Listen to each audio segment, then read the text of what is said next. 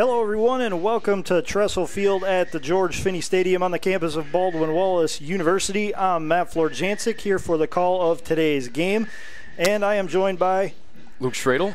Luke, thank you very much for uh, joining me today on the call of the game. Looking forward to a good game today between two teams near the top of the OAC standings. That would be the host Baldwin Wallace Yellow Jackets here in their home opener against the Heidelberg University student Princes, who come into the game ranked number 22 in the nation.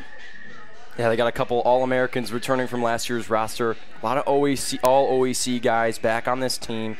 They have a couple injuries, including Montavious Yerby. That'll be something that we'll watch out for today. But a guy that I really want to key in on for this team is Maceo Matthews Jr., a wide receiver out of Florida, Miami, Florida, and he was an All American, D3 football All American last season be a guy that'll be a huge focus for that Heidelberg offense, along with Drew Sims, a quarterback, a sophomore from nearby Perrysburg, Ohio. He's having a great season as well. They love to throw it.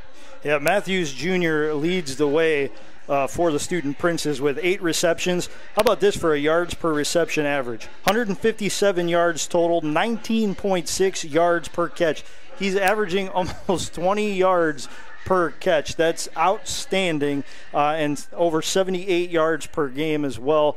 Uh, for the student princes. So that is definitely a name to watch. And as you mentioned, Drew Sims, the 5'11, 170 pound sophomore, uh, is 38 of 67 for 605 yards, nine touchdowns against one interception. He has a passer efficiency rating of 173.9, despite that 56.7 completion percentage. I mean, when you're having a touchdown to interception ratio of nine to one, you're pretty you're pretty darn good. Usually about four to one is like really good. Nine to one is unbelievable. Yeah, he's having a great two past years. He's six and one in all of his starts. You know, he came in as a freshman, won the job against two experienced guys, and he shows why. You know, they're the number one scoring offense in the OAC. It's going to be tough to handle if you're the Yellow Jackets on defense. Yeah, you know you have to be talented when you beat out upperclassmen uh, as a sophomore to win the starting job, but that's exactly what Sims has done. As we mentioned, Heidelberg uh, is tied with Mount Union, actually ahead of Mount Union by a game in the standings here in the Ohio Athletic Conference. Heidelberg is 3 0, 2 0 in OAC play. Mount Union 2 0 uh, overall and 1 0 in the conference. BW is tied for third with Muskingum and Ohio Northern as all three of those teams are 2 and 1 overall and 1 and 1 in OAC play. BW is coming in off of a loss uh, after getting defeated by those Purple Raiders down in Alliance last week, 31 to 7. Mountain Union came into that game ranked number three in the entire country. Heidelberg comes in. Uh, on the heels of a 48 to 17 win over the Capital University Crusaders last Saturday. Yeah, I feel like they really had their chances in that game. They fought hard against a team that's ranked number three in the nation. You know, it was 14 7 at the end of that first half. And they had a strip sack and had an opportunity to score a touchdown, maybe tie it at half, but didn't. And, you know, Mount Union kind of ran away with things in the second half. But, you know, you're confident coming in. You, you played number three team in the nation very well last week and you're here in your home opener trying to prove something against another nationally ranked team. Yeah, this is a good opportunity for the Baldwin Wallace Yellow Jackets to get back in a win column and really make a statement uh, that they learned from those miscues in last week's game uh, about letting teams off the hook. When you get an opportunity to finish drives in the end zone, you have to take advantage. And uh, they learned that one, unfortunately, the hard way down in Alliance last week, but they get another crack at it this week when they take on Heidelberg. And Heidelberg comes in you know, looking like very explosive offensively. They have weapons, as we mentioned. Wide receiver is a huge uh, position for them, but uh, you really have to give credit for Sims to have the success that he has throwing to these wide receivers. And you know, two of them have double-digit catches, over 150 yards of offense for three of these guys. You really have to give credit though to this offensive line. You know, left tackle Braden Dungus, uh, left guard Wally Kalinowski, center Bobby Logan, right guard Javinsky Gedna, and right tackle James Sweat. They keep Sims upright and healthy. And when you have a line that can give you time and keep the opposing defenses out of your backfield, you should have the numbers that Sims is putting up. Right, and they have a veteran offensive line. These guys have been together for a while now. They've only allowed one sack so far this season, so that's great to see. Um, but they've also been pushing the pile in terms of running the ball. They ran the ball really well against Adrian College. They went up 38 to zero in the first half of that game. Uh, similar story against Capital, beat them 48 to 17. So the offense can put up points, and that offensive line is a big reason why. Yeah, to your point, they are very experienced up front. Senior, junior, junior, senior, senior from left tackle to right tackle. Uh, so a lot of experience on that front, and uh, it shows itself in the way they're able to run the ball and the way they're able to protect uh, Sims. Taking a look at this series, BW has faced Heidelberg more times on the gridiron than any other opponent uh, as the teams have played 73 times. The Yellow Jackets hold a 49 24 all time series lead, a series that began in 1897 when BW won by a final score of 10 to nothing here in Berea. So these two teams go back a long way. And uh, this is an opportunity for BW to really right the ship after last week and continue to stay towards the top of the OAC standings. Yeah, and last time out against Heidelberg, it was a very close game. They only won by one point. And Keegan Armitage also came in for the first time of his career and completed his first career pass. A quarterback went down. Jeff Miller went down, not Jeff Miller. um, but um, Keegan Armitage came in and he proved that he was a great passer. I just remember that game, and his his kind of coming out party in terms of things. And, you know, he's here again against them, and he's putting up efficient numbers so far, but, you know, they've been running the ball a lot more. You take a look at this Heidelberg rushing defense, ranked 156th in the country, so that's sort of their weakness. They can't really uh, seem to figure out how to defend against enemy teams' run games. And BW, that's a huge part of their attack. John Murray Jr., back for his senior season. He's having a great year. Top of the OAC in terms of rushing touchdowns and in rushing yards per game. He's number three. And, you know, he's got to be the guy you key on, not just Armitage, but the run game's got to help out today. Yeah, we're waiting the results of the coin toss. BW wins it, and they're going to take the ball. No, they're going to defer. Heidelberg will get the ball to start the game. Uh, getting back to your point, Luke, about the running game for the Yellow Jackets, John Murray Jr. leads the way. The 6'1, 195 pound upperclassman has carried the ball 64 times 369 yards, seven touchdowns, 5.8 yards per carry, 123 yards per game. Uh, very good statistics, especially when you consider the fact that this team went up against Mount Union last week, and he's still averaging almost six yards per carry and over 120 yards uh, per game carrying the ball. That's an outstanding uh, set of numbers right there. And to your point also about Keegan Armitage, 41 of 67 for 438 uh, yards, rather, two touchdowns, a 126 passer efficiency rating. He's also carried the ball 19 times for 44 yards and one score. So he's a little bit of a dual threat. When he gets the opportunity to scramble, if he has to, he'll do it and he'll be successful at it. Yeah, sometimes you really don't think he's going to take off and run, but he does have the athleticism. But on the other side, Drew Sims has the athleticism as well. He was a three sport athlete in high school, so both teams are going to have to contain the quarterback. Just keep him in the pocket today. Yeah, for sure. BW comes out in their uh, home brown uniforms with white numerals, uh, white lettering, gold trim, gold, gold and white alternating stripes on the shoulders and white pants, brown and gold stripes down the sides, and white helmets with the BW logo on either side of the helmet. The student princes come in uh, with their road white uniforms, orange numbers, black pants, orange helmets, and the student prince logo on either side of the helmet. BW will kick off to start this game. A light drizzle is starting to fall here in Berea. Very cloudy day, um, but still very mild uh, for the final weekend in September. Uh, BW will defend the south goal here in the first quarter. Heidelberg will defend the north, and Heidelberg will be going from left to right across your digital tuners and computer screens in this first quarter. The ball is teed up. The teams are on the field, and we are just about set to get this one underway. Dean Saris will kick it off for the Yellow Jackets. Interested to see what this wind does. 14 miles per hour to the west. Well, it's going to help the Yellow Jackets on the opening kickoff, that's for sure, as the ball sails out of the back of the end zone. It went five yards deep and then rolled uh, beyond the end line. So a little bit of a wind aided kick, but that will give the Heidelberg Student Princes a first and 10 from their own 25 yard line here to start. And the rain definitely going to be a factor as well because it's supposed to maybe rain as this goes on. I know it's got a high chance to. Taking a look at the radar here, and we'll update you at on that as the game goes on. But this Heidelberg offense very high powered, and they love to throw it downfield. If it's raining, you really can't do that as much. Yeah, and especially if you're going into the wind as well, and they are going into a stiff wind right now. Sims drops back. He's flushed. He throws it out to Grossman, who catches it while falling down, cannot gain extra yardage, but picks up five on the first down. So it'll be second and five for Heidelberg. Grossman, a bigger back coming out of the backfield. Uh, smart check down by Drew Sims to just find a guy while pressure's coming in his face. But you usually don't see Grossman make as many catches. It's because he's a bigger guy, but he can bring him down. Sims hands it to Grossman. He's hit at the last scrimmage, bounces off a tackler, high steps his way through another, out past the 40 yard line, up near the 42. That's a first down for Heidelberg.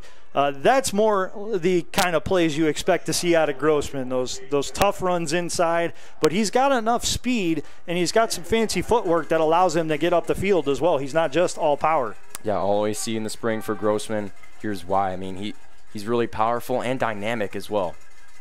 Sims takes a shotgun snap, no pressure. He flares it out. It is caught in the yellow jacket territory. Goes Nick Kofer, the tight end, the senior tight end from Willard, picks up big yardage and another Heidelberg first down. They are up to the Baldwin Wallace 41 yard line. So this is a quick strike offense here that we're seeing so far. Yeah, Kofer is a huge target for Drew Sims. He scored two touchdowns early against Adrian. Look for him to be a big red zone target as well. Sims th- throws on the run uh, as he was flushed out of the pocket, and he sailed that one into the sideline. It'll be second and 10 from the BW 41. Um, decent pressure so far for the Yellow Jackets, uh, minus that one big play uh, to Kof. uh, they've done a good job to really test this offensive line pretty early. Yeah, and a guy that I want to mention, Frank Sukup, has been able to get pressure on each and every play so far. Taylor Rocho, a veteran D tackle, a guy that Coach Hilvert trusts to be there and a leader of this defense. Sims hands off inside to Grossman. He bounces it around left tackle, but he's not going anywhere as he is brought down by Matty Reed, the senior defensive tackle. And while we have an opportunity, let's introduce you to the Yellow Jacket starters. Uh, on defensive end, Frank Sukup, defensive tackle Devin Slocum, defensive tackle Tayano Orocho, and defensive end Jordan Smith. At the linebackers, you have Dylan O'Donohue, Mason Levasseur, and Nick Panko. We'll get the DBs here after this play. Third and long for the Student Princes. Sims drops back. He fires over. Matthews Jr. catches it, and that is another first down for Heidelberg. They are just outside the red zone at the Baldwin Wallace 23. Great job on the route there by Maceo Matthews Jr. You see why he's an All American. He has such sure hands, even in tight coverage from BW, just brings it down. Sims again with the shotgun snap. He fires it right back to Matthews Jr. and gets the ball inside the 15, out of bounds at the 14 yard line. Finishing up the Yellow Jackets starting defense at cornerback, you have number two, Robert Williamson, a 5'10, 180 pound senior, and Ian Mitchell, a 5'8, 160 pound senior. The safeties are number 11, Jake Hill, and number four, Brandon Seawright. Sims going to test the Jackets secondary again. He throws it to Matthews, and it is knocked away in the end zone. We're going to have a conference, though, from the officials. Nothing good happens for Baldwin Wallace here if these officials have a conversation. Yeah, Matthews really beat him off the line, but I didn't think he made the catch. I don't think he completed the catch all the way through to the ground. So incomplete pass. And that's what the officials rule after a brief talk in the end zone. So fortunate for the Yellow Jackets that no uh, no flags were thrown. And Matthews was looking for it, but he did not get it. He's still frustrated. He's still motioning with uh, a shoulder shrug to the Heidelberg sideline, wondering why he couldn't get the call. Sims hands off inside to Grossman. He bounces it behind the left guard and up to the 10 yard line. That is another first down for Heidelberg. It'll be first and goal now. Vasur brings him down on the play. See the size mismatch between Matthews Jr. six foot and Ian Mitchell five eight is something that Drew Sims is looking for down on the goal line. Yeah, and you can see that early. He's been uh, oh snap goes over Sims's head, and it's going to be recovered by the Yellow Jackets. Picking up the ball for BW. Senior defensive lineman Sekou Amani. What a play! Just a bad snap over Sims's head. It and it kept rolling, and that allowed the Yellow Jackets to get downfield and take possession of the ball at their own 26 yard line. And that's so big because they defer to the second half. You make a stop on the first drive. That's huge, huge momentum swinger. But this Heidelberg offense has only missed one time in the red zone to score a touchdown, just the second time and the first time against this BW defense. So they bent, but they didn't break. And now BW's offense will take over. Keegan Armitage will be in the shotgun formation. He has backs on either side. Fakes the inside handoff. Now looking to throw, and he is sacked. He is brought down by three Heidelberg defenders. Shooting in there was Spencer Rabick. He had the initial stop, and he had some help along the way. Yeah, just the whole offensive line didn't really get a good pushback there on the pass block. And just too many guys for Armitage to even avoid. Would have liked to see him maybe throw that away, but really didn't have enough time. Loss of seven on the play. BW now faces a second and 17 from their own 19 yard line, and they are marching the wrong way.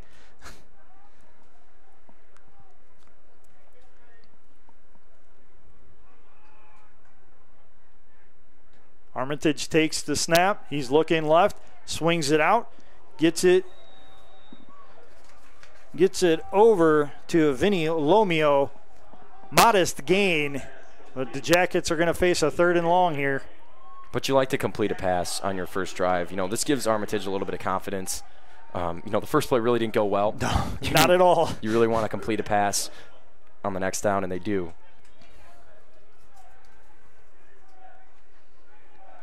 Third and 12 now at the 10:35 mark here of the first quarter. No score from Tressel Field at George Finnie Stadium. John Murray Jr., the lone back in the backfield off the Armitage's left side. You got three wide receivers out top, one to the bottom. Armitage takes the snap. He's looking to throw. He's getting flush from the pocket, feels some pressure, completes the ball.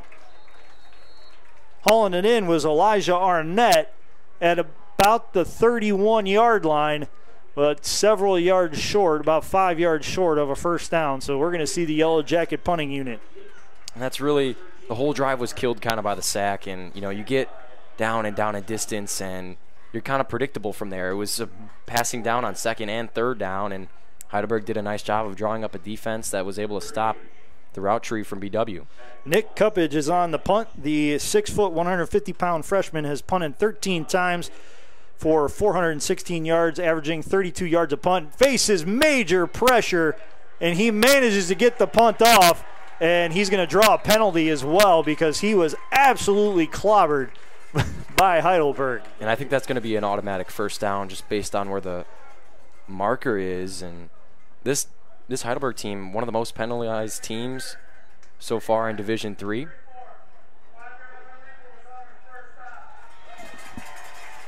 It was the running into the kicker penalty, which is only five yards, but that five was enough to give BW their first first down, and they are out to their own 36 yard line.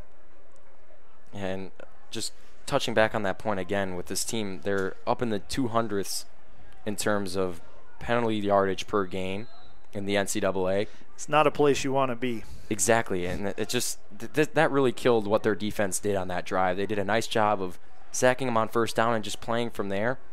But the penalty on special teams really kills you, especially when you have a dangerous returner back there like Matthews Jr. Yeah, and you knew you were going to get good field position because BW was backed up deep in their own territory. But that's not the case anymore. Yellow Jackets, first and 10 from their own 36.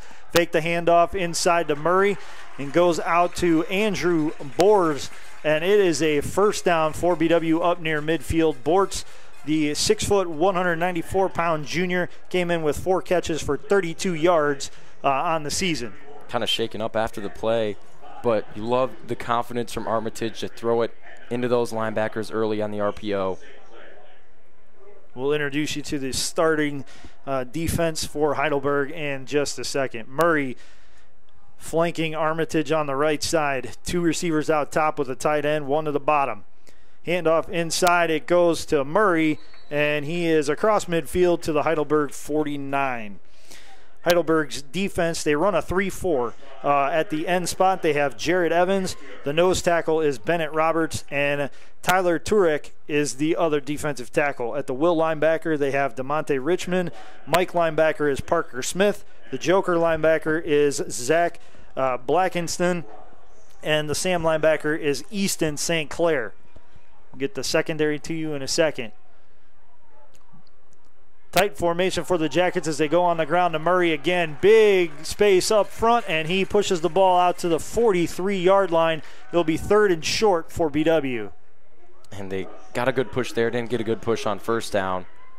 But the Heidelberg offense kind of, or Heidelberg defense kind of daring them to pass it on that down. Not too many DBs in on the play, stack the box.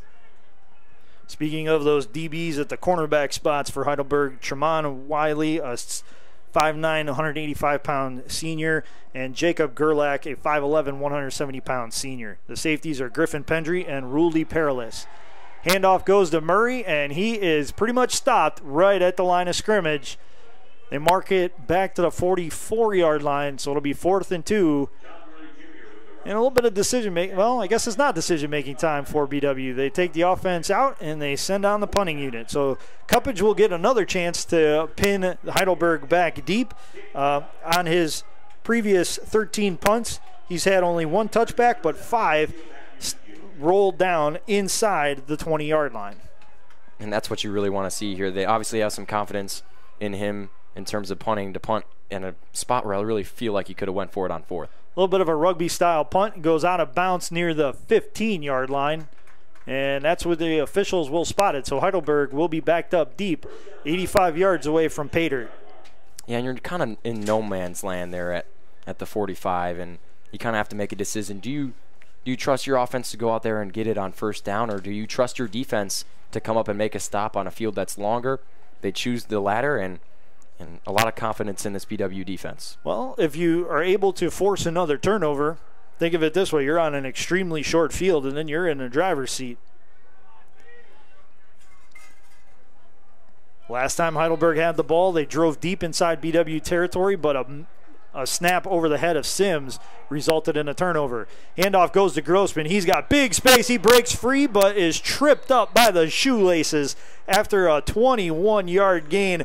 Uh, he, his eyes started to get real big when all he saw in front of him was green, but he couldn't step out of that last tackle. Yeah, I wouldn't want to be a DB in front of him. I mean, he's a powerful runner, puts two hands on the ball. He's not going to let it hit the turf and just blow guys over. It made a nice cut as well. You know, he's an agile guy, too. Spread formation, three to the bottom of the formation, now four as Grossman shifts from left to right. Sims looking to pass. He's going to loft it downfield to Matthews Jr., and he overshoots the intended target. Decent pressure off the left tackle spot for BW. Yeah, but great coverage downfield. They had Matthews double covered, and Sims just kind of took his chance. A little bit of an overthrow he kind of trusts Matthews to just go and get that ball, what he's doing there. But double coverage, really not a great read and a great throw.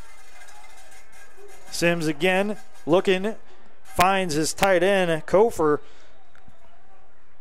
for first down yardage up near midfield uh, out to the Heidelberg 47 yard line. So again, we're seeing Heidelberg going maybe a little bit sh- with a shorter game, but a quick strike game and continuing to move the chains. And that's Kofer's second catch. He's such a big part of this offense. Kofer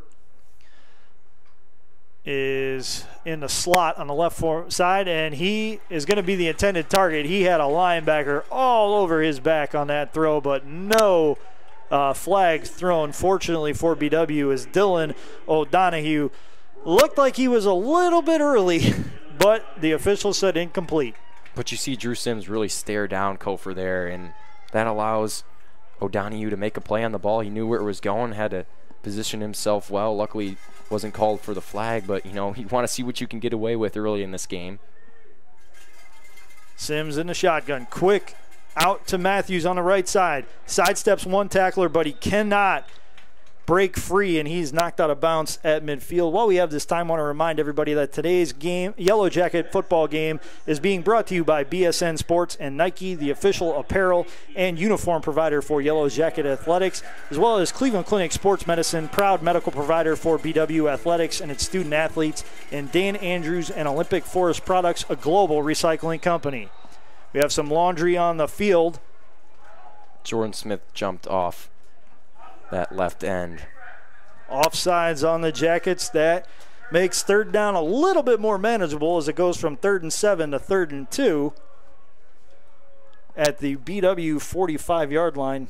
You don't want to give an offense like Heidelberg too many opportunities on a short third down situation because you got a better than average chance that Grossman's going to be the one toting the rock up the field. Yeah, and it also puts them in better fourth down territory if they don't get this third down. So just a big mistake. Smith with the hand, or Sims with the handoff rather to Grossman. First down yardage down to the yellow jacket 30 and 38 yard line. And you called it, partner. You knew what was going to happen on that play, and Grossman, the obvious guy to call on that play. Yeah, it's a pretty simple formula, but it works very effectively especially behind the veteran offensive line that Heidelberg has. Sims looking to his right. Finds Kofer again at the 30. Kofer steps out of a tackle down to the 20, down to the 15, and he is finally brought down. Uh, and he is in a world of hurt at the 15 yard line. That was just an awkward fall uh, for him on the tackle. Yeah, and, and our condolences to him, obviously, but he's a huge part of their offense if you're this BW defense. And he's a guy that might not have to key on now that he's out. And that's just really unfortunate for the student princes. Yeah, I mean, you talk about a big part of their offense. I mean, he is just that. The six foot two, 235 pound senior is one of the favorite targets uh, for Drew Sims, and looking like he might have to spend some time uh, looking at another target on this season Look at his receiving numbers four catches for 33 yards, but two touchdowns. Pretty good numbers there. Um, you're averaging almost 10 yards per catch, and you get the ball into the end zone twice on just four catches. You know that you uh, have quite the weapon there. So we wish him all the best. And while we have this timeout in action, I want to remind you that today's Yellow Jacket football game is being brought to you by the Oswald Company for all your insurance and risk management needs. Chuck Retuno and OE Connection LLC, your global automotive technology provider. Medical Mutual of Ohio, the official healthcare provider of Baldwin Wallace University, and Barron's Bus Lines, the official charter bus company of Yellow Jacket Athletics. 4:43 to go here in quarter number one at Tressel Field, uh, inside the George Finnie Stadium, and we are deadlocked, scoreless uh, here. Heidelberg, however, is driving. They will have a first and 10 from the BW 15 yard line when action resumes. Kofer is up, but he is being helped to the sideline uh, by a coach and one of his teammates. So, wish that young man all the best. Hopefully, it's nothing too serious. It'll be interesting, though, to see how Sims is affected uh, if Kofer is not able to return to the game today. Uh, how they're able to utilize other tight ends uh, on the depth chart. Uh, number 83, Devin Conyer, was listed as the backup, and there's quite a bit of size difference between him and Kofer. Kofer goes 6'2", 235. Uh, Conyer 6 foot 180. You know, a little bit of a different build, but we'd like to talk about what they just did. They're three of three on third down, and that's huge. That's the money down, and and that's kind of where Heidelberg's made their killing so far on these drives is just completing third downs. You know, BW's got them to third down three times, but they got to make that stop.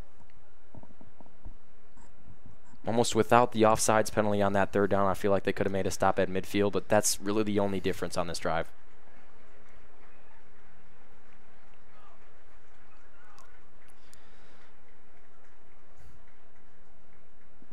Third down is your money, de- uh, your money down for the defense and for the offense, for that matter. But BW unable to get off the field so far. It's first and 10 from their own 15 or from the BW 15. Grossman with the handoff. He's at the 10. He's at the 5 and he's tripped up inside the 5. Looks like he's down in between the 3 and the 2. So another first down and it'll be first and goal for Heidelberg. And with the success they've had running the ball, I don't know why they wouldn't just hand it off to Grossman again here. Yeah, they are doing a great job to clear some space for him. Grossman with the handoff. He's untouched into the end zone from three yards out. Wow. Just a phenomenal job of clearing a ton of space on that right side. He ran right around right tackle and into the end zone. James Sweat, the right tackle for Heidelberg, he gave him quite the rushing lane into the end zone. Yeah, you're right. A lot of push from the offensive line. It really wasn't just Grossman there, but in the last couple of plays, he broke a ton of tackles to get him all the way down here. Offensive line rewards him with a good push for a touchdown. The extra point try is up, and it is good. Parker Smith connects on the extra point, and he gives Heidelberg a 7 0 lead over Baldwin Wallace with 4.17 left to go in quarter number one. Yeah, that's Grossman's third touchdown of the year. He had two at Adrian on the 2nd of September. He came into this game having just 21 carries for 71 yards and two touchdowns. He averaged 3.4 yards per carry. Uh, those statistics are going to look a lot better on Sunday morning uh, after today's game, the way he's run the ball so far in this first quarter. And if you're BW's defense, you have to find a way to slow him down. Uh, not sure what they were doing, worked on that first drive, but they'll make adjustments. I know they will. And you know this defense has, has been really tough. They only allowed 14 points to Mount Union in the first half. They're going to come back and respond. Anytime you can keep an offense like Mount Union to 14 first half points, you're doing something right. Uh, hopefully they are able to keep Heidelberg uh, at bay here. But before they have a chance to get the defense back on the field, the offense is going to have a chance to tie this game up. Smith tees up the ball, and it will be returned from the two yard line out to the 30, breaking free to the 40 yard line.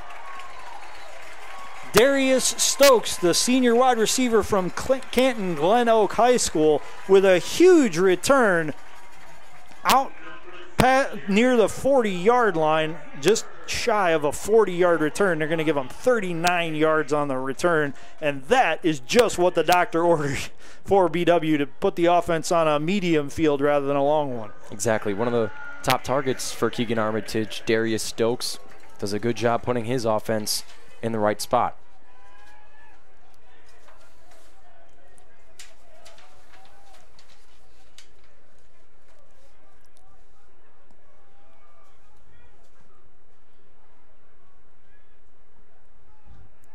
Sims takes a. Nope, it's not Sims back there, and, and not Armitage either.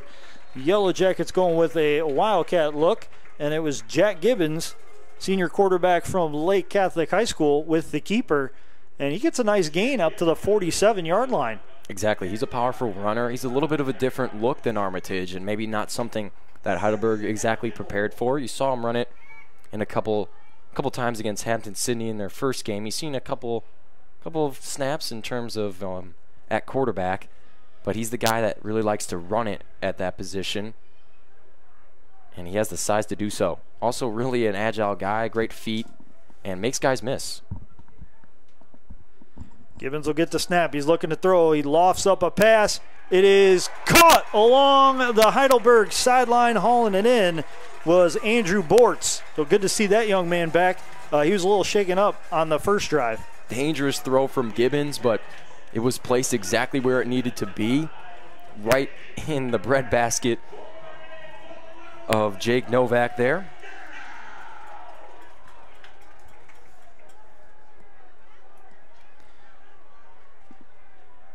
Well, you have an opportunity. We'll introduce the Yellow Jackets starting offensive line. Uh, number 77, Liam Levetto, is the left tackle. Number 67, George Newcomb, is the left guard. Number 53, Javon Megadershian is the center. Number 62, Patrick Simon at right guard. And the right tackle is number 74, Austin Stafford. Fake the handoff inside. And keeping the ball is Gibbons, and he's got another Yellow Jacket first down down to the Heidelberg 19 yard line. So BW starting to move this ball a little bit here, uh, and that's a good sign that they're able to get the ball up the field so quickly against Heidelberg. Nice read by Gibbons there, keying on that D end and making the play to keep it himself. John Murray was going to get blown up in the backfield if he didn't take that himself, and that's kind of what that read option always sets up. The bunch formation to the bottom, three receivers. And now the tight end and one of those receivers will flare over to the right side. So Stokes goes in motion, fakes the handoff inside. Gibbons is stopped at the line of scrimmage, and he is going absolutely nowhere. In fact, I think they were generous to give him the line of scrimmage. It looks like he could have lost a yard on the play. Nowhere to really go there. Kind of got a defensive lineman just came in and blew up that whole play. And I feel like he maybe could have handed that to Stokes on the outside. Maybe he could have had a chance, had some blockers, but really nothing to go go with there. Second and long. And actually, they did spot him for a one yard loss. Second and 11 from the 20 yard line. We're approaching a minute left here in this first quarter. BW trails Heidelberg 7 to nothing. Armitage back in at quarterback. He's going to take the snap, runs the option, pitches it two hands to John Murray Jr. Murray's inside the 15, spins out of a tackle down to the 10 yard line and up near a first down. Looks like he's going to be about a yard short. Good, powerful run right there by John Murray Jr. Great effort by Murray and just does a great job of staying balanced and keeping the play alive. Third and one now for BW. They are knocking on the doorstep of the end zone here, deep in Heidelberg territory. And you got to believe that Murray Jr. might be the uh, ideal candidate here for the short yard situation. 0 2 on third down so far. Armitage throws a pass out to the right side. It's Stokes with the recept. Nope, incomplete. The official from the far sideline races in and signals that it was incomplete. Stokes made a good case for it, but unfortunately, the official said it hit the turf. Yeah, just bounced off his shoulder pad, so it made you seem like he may have caught it. Bounced off his shoulder pad, right back into the turf, then right back up into his hand. So it may have looked like a catch on the live stream, but that's an incomplete pass. So it'll be fourth and one now, and Armitage comes off. Uh, Gibbons goes back into the game. Gibbons entered the game with just 17 yards on seven carries, but he's having a good game carrying the ball on this drive. And that nice throw on the outside, perfectly placed, that's gotten them down into the red zone. Gibbons hands off to Murray. He's got first down yardage and a, one more, maybe up to the eight yard line. So it'll be first and goal for BW. And the thought is you, you have to get points here in the red zone, and, and, and, it can't just be three because this Heidelberg offense, number one in the OAC, like we talked about in the open, this is a team that you need to get points on in order to win, and especially you need to get in the end zone. Absolutely. So 17 seconds left. Gibbons takes the ball, lofts a pass eh, to Stokes, and it is intercepted in the end zone. Tremont Wiley comes up with the pick. Just an underthrown ball, and Wiley had inside position. Yeah, a guy who was second team All American in the spring of last year. One of their best cover guys. And wow, that's a big break that, for the BW offense. That's another big break for BW. There was some laundry on the field, and it was an illegal substitution on Heidelberg. So take the turnover off the board, and the Yellow Jackets will get another crack at it.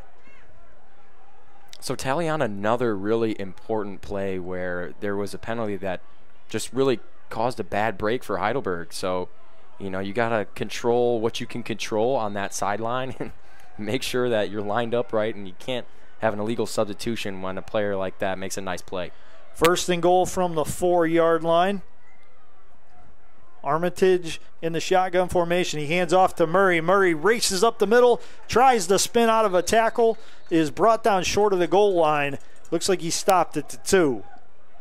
Tough inside run, but still positive yardage for the Jackets. And going back to your previous point, Luke, this is an opportunity that Heidelberg has given you. You have to find a way to punch it in. Exactly. And, you know, we're going to talk about this all day. Obviously, they're 0 3 on third down. They pick up that one on one on the first down. So they're struggling a little bit in terms of that money down. But, you know, we haven't really seen them. This is the first time we've seen them in the red zone today. So, got to be efficient when you're down here. And I, would love to see them run it again. I think John Murray's had a lot of success up the middle. Offensive line getting a great push. Absolutely, they are getting a great push on Heidelberg's defense, and you expect Murray Jr. to be a critical component of this offense going forward the rest of the day. That brings us to the end of the first quarter. It's Heidelberg 7, Baldwin Wallace nothing. BW, however, is knocking on the door. They'll have a second and goal from the two yard line on the first play of this second quarter. While we have this opportunity, I want to remind everybody that today's Yellow Jacket football game is being brought to you by the BSN Sports and Nike, the official apparel and uniform provider for Yellow Jacket Athletics, as well as Cleveland Clinic Sports Medicine, the proud medical provider for BW Athletics and its student athletes, and Dan Andrews and Olympic Forest Products, a global recycling company. Thank you for your support of Yellow Jacket Athletics.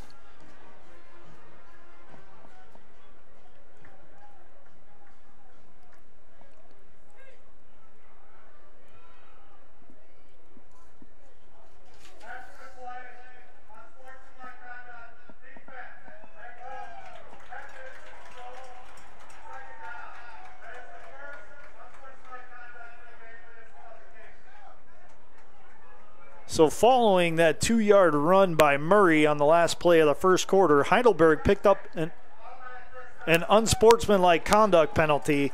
That's half a distance to the goal, so the Yellow Jackets gain only one yard. But most importantly, that resets the downs. It's first down and goal. That's just huge. It just gives you so much more confidence. You have four downs to work with down here at the one yard line. Armitage hands off to Murray. Murray plows his way forward, and he's in for the yellow jacket touchdown. BW is an extra point away from tying this thing up. That's John Murray's eighth touchdown on the year. He's racking himself up. A great season so far.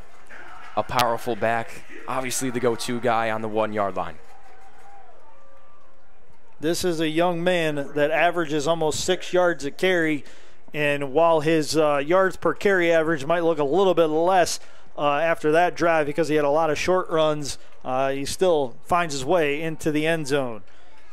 Dean Saris is on to try the extra point. The snap is back, ball is down, kick is up, and it is good. We have a tie ball game, 7 7 with 14.56 to go in the first half from Tressel Field. Offense responds. It's time to see what the defense can do here. And the time of possession, we just want to mention that 9 11 already for BW. So they're kind of controlling the possession with some of these runs. And, you know, they're going to force Heidelberg to try to make some big plays down the field. They deferred to the second half.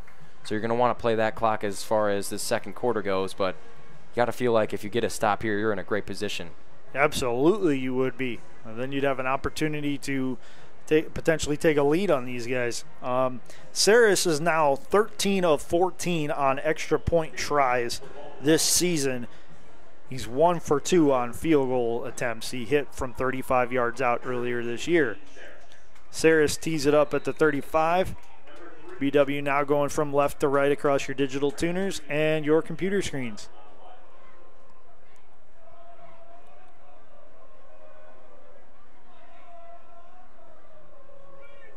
Charges into the ball, puts his right foot into it, and sends it into the wind. It is fielded at the seven yard line. Uh, return man gets it out to the 30. Now he's out to the 40, and he's run out of bounds there at the 40 yard line on the return. Wide receiver Brandon Reed with a nice run back. Yeah, he's got some nice speed on the outside, and one of those guys that you like to throw a bubble screen to in the offense, and a guy that you can put back in the return game and expect to be successful. He does so there. They're starting great at the 37 yard line. As you mentioned, Reed is sure handed in those short yard situations. He's got 10 catches for 134 yards and two touchdowns this season coming into the game. Three wide receivers at the bottom, one out top. Sims to drop back out of the shotgun formation. He can't avoid the pressure, and he is brought down for the sack in on the stop for the Yellow Jackets was number 99, TJ Weir. And he just puts the center all the way back. He pushed him good three or four yards back, right into Sims' face. Doesn't do a good job of avoiding the rush. I feel like he could have maybe rolled out right, try to make something happen with his legs, but the defense contains him in the front. Good job by Ware. Sims on second and long throws it to the right side. It is caught. Up near the first down marker, it's Dimitri Pennick the six foot, 190 pound senior who leads Heidelberg in receiving yards. Uh, added a nice gain to that total, and now it'll be third and one from the Heidelberg 46. Sims with the quick handoff, it goes to Grossman. He's got first down yardage and more out to midfield. So another third and short converted by Heidelberg. Yeah, just great play call. Just go with Grossman, get that first down, and move the chains.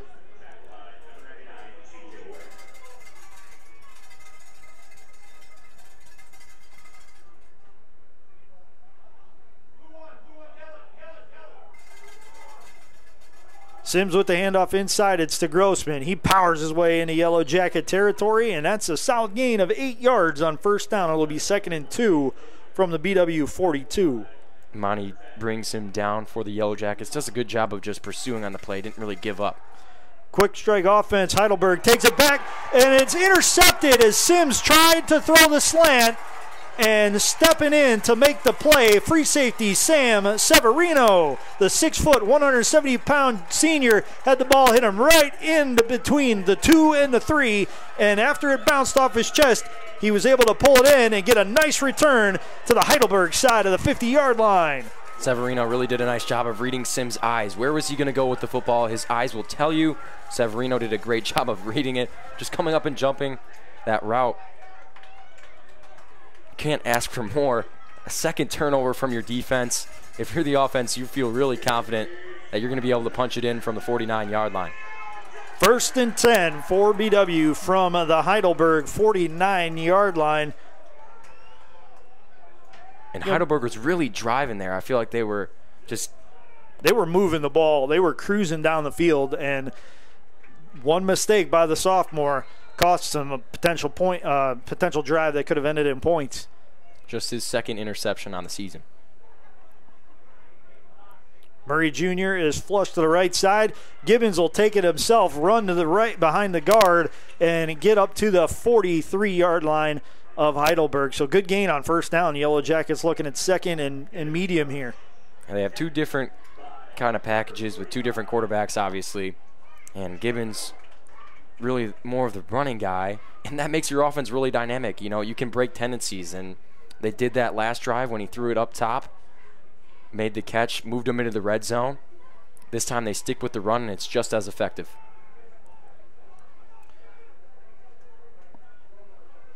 So Gibbons will have a receiver on either side of the formation, and tight ends on both sides of the formation. One's a wing, sends him in motion with Fakes the inside handoff. Gibbons going to call his own number again, trying to get to the outside. Unable to do so, but he should have enough for a first down.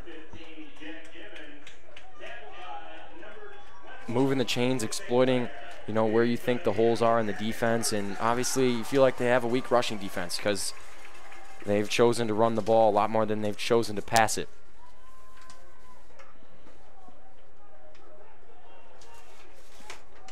First and 10 from the Heidelberg 39 yard line.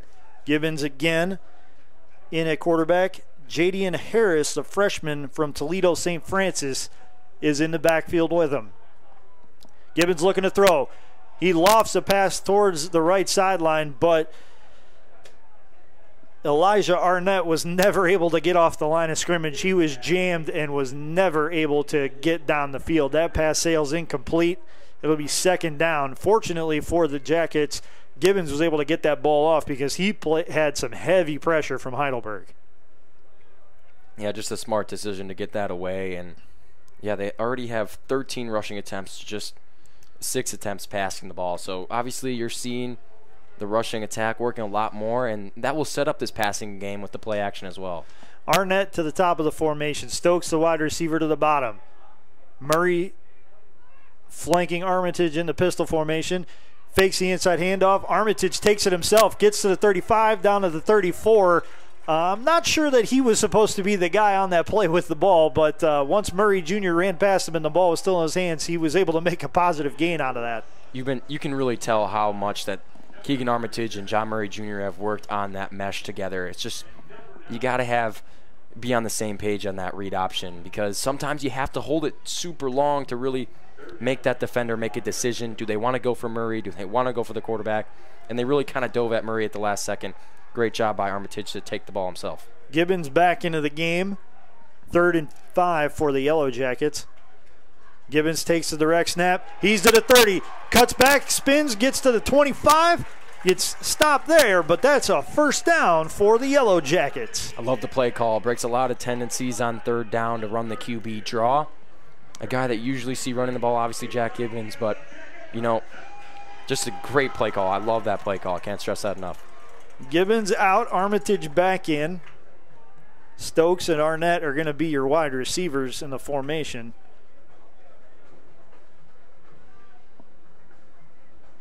Bartosik and Cregan, your tight ends, off to the left side. Murray, the back, flanking Armitage on the left side. And that was their first third down completion. Armitage takes the snap. He lofts it to Stokes on the right side. Stokes tries, but it is knocked away.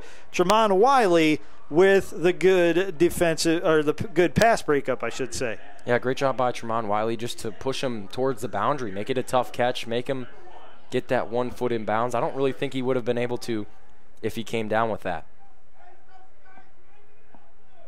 I agree. I think if he caught the ball, I don't know that he was going to be able to get down in bounds. But you take your chances one on one with a guy like Darius Stokes. You feel like you have a lot of confidence in a senior receiver that's made a ton of plays for you so far. And has a two inch uh, reach advantage over Tremont Wiley. Stokes goes 5'11, Wiley only 5'9. Arnett comes to the bottom of the formation. Now Cregan goes in motion from right to left. Two receivers out top. Fakes a handoff to Murray. It goes to Stokes at the 21. He catches it, turns up field, gets spun out of bounds at the 17 yard line, so it'll be third and short for the Yellow Jackets. It's just a great pickup, makes third and manageable a lot easier as a play caller. Third and call it three from the 17. And usually you're thinking John Murray Jr. here, but I like Stokes on the outside one on one. Yeah, no help out top from a safety. Armitage swings it to the right side of the formation, and he's going to draw a flag as Arnett was essentially tackled at the five yard line. He had a step on Wiley and was tripped up. So that looks like it could be another Yellow Jacket first down via the penalty. Yeah, the flag really kind of stops the touchdown, but you really just kind of got to grab on there. Otherwise, you're going to give up seven points. Right. Good to see Andrew Borch back, uh, Bortz back on the field for the Yellow Jackets. Made a nice play in the first quarter and uh, came off to the sideline pretty gingerly, but he's he was back on the field for that play. Good to see that young man back up and at him. Arnett and Stokes, your receivers. Arnett to the top of the formation, Stokes to the bottom, two tight ends, one a wing on the right side. That's Cregan. Bartosik on the left. Arnett goes in motion. Gibbons takes the snap, looking for a running lane, and he's not going to find one as he is wrapped up and dropped at the 10 yard line. So he loses a yard. It'll be second and goal for the Jackets with 9.30 left to go here in the first half. Heidelberg brings the heat there. They send a couple guys, and offensive line couldn't handle. Armitage is back in. We'll have two tight ends, two receivers, and Murray.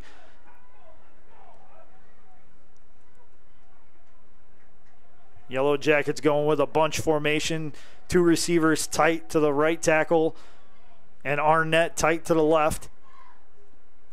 Murray slightly behind Armitage.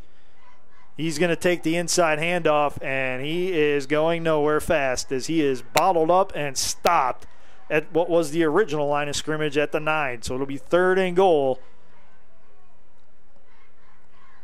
And it makes it more of a predictable passing situation now on third down. I feel like they had a chance in man coverage on first down to maybe go for the end zone, but they chose to run. And then they choose to run again on second down, which sets you up for a longer third down try. And to your point, the Yellow Jackets pull Murray out and they send Jadian Harris back into the game. Three receivers at the bottom, one at the top. That's Arnett and one on one coverage with no safety help.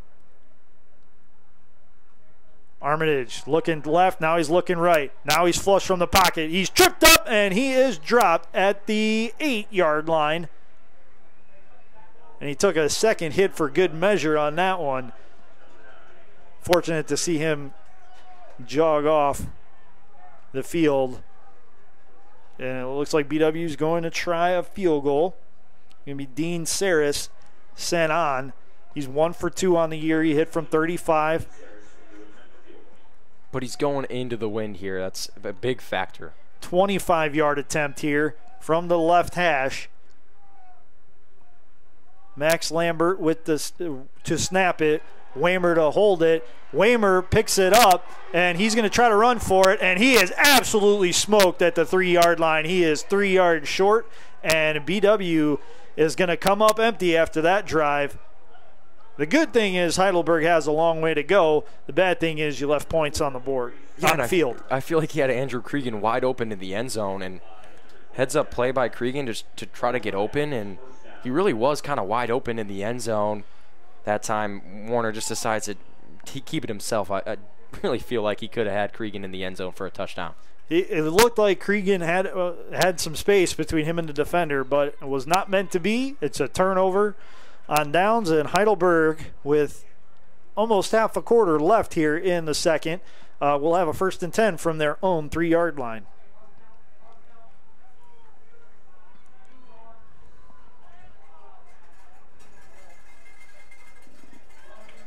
I'm surprised not to see Jace Grostrom this so close to the end zone. Yeah, you would think this is a series that's uh, very much built for him, but nothing doing. And actually, I think Heidelberg may have lost a yard depending upon the spot.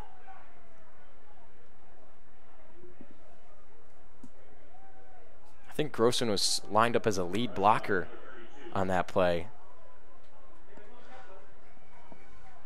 I mean, that's not a bad guy to run behind, but – the way he's run the ball, you would think that you'd want to give it to him. It's second and 11, and BW's going to have to burn a timeout. There's a late substitution. Uh, they want to get hit for a two, uh, 12 men on the field penalty. So BW calls their first timeout. Uh, so with 6:49 left in the second quarter, we are sco- we are tied at seven between Baldwin Wallace and Heidelberg. Want to remind everybody that today's Yellow Jacket football game is being brought to you by the Oswald Company for all of your insurance and risk management needs. Chuck Ratuno and OE Connection LLC, your global automotive technology provider, and Medical Mutual of Ohio, the official healthcare provider of Baldwin Wallace University.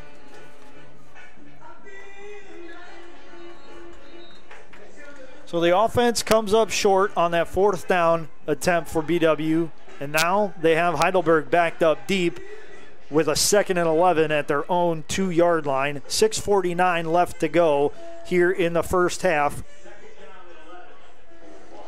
Heidelberg driving with the win. Remember, Heidelberg gets the ball to start the second half.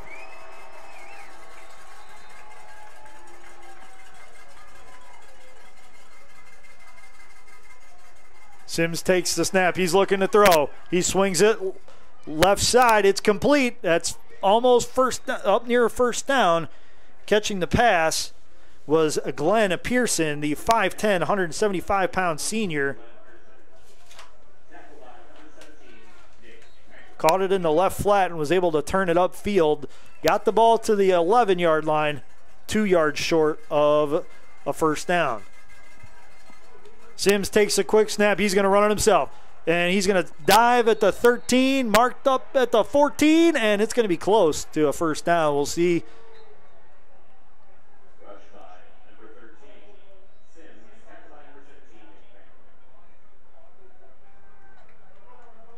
Yep, moving the chains. That's a first down. Sims knew exactly where the marker was, and he didn't get much more than that before he got down and uh, got the first down. Kind of similar to what we saw from BW on that third down conversion, a QB draw. Sims with a quick pass. It goes to Pearson on the right side. And modest gain of about three yards out to the 18 yard line.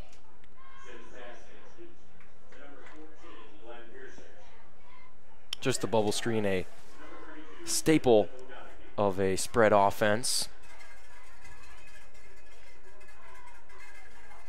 You love to make those linebackers run out to make plays on those bubble screens, so it's tougher on running plays. Sims goes deep down the left side of the field, and it is complete.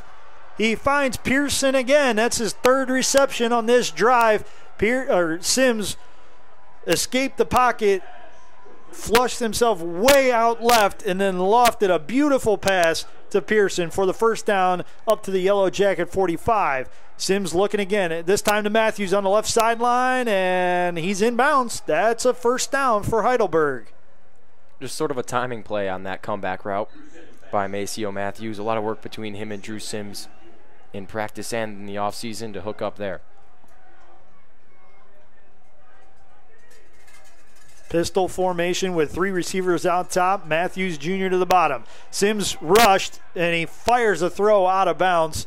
You can loosely say that was intended for Matthews Jr., but I think that was more of a just avoid a, a sack at all costs right there. Yeah, BW's getting a lot of pressure on pass plays, and that makes you so much more dynamic in the coverages that you can throw out against Sims. And they only really rushed four there. It's nice when you can get that kind of pressure with only rushing four. That way you can drop more into coverage with a four wide set. Fake the handoff inside to Grossman. It's Sims keeping, and he is going to be dropped in the backfield. Nick Panko coming up with the stop. Panko entered the game with uh, team leading 17 assists, 13 solo stops, and 30 total tackles. He can add another solo stop right there to pad his team lead.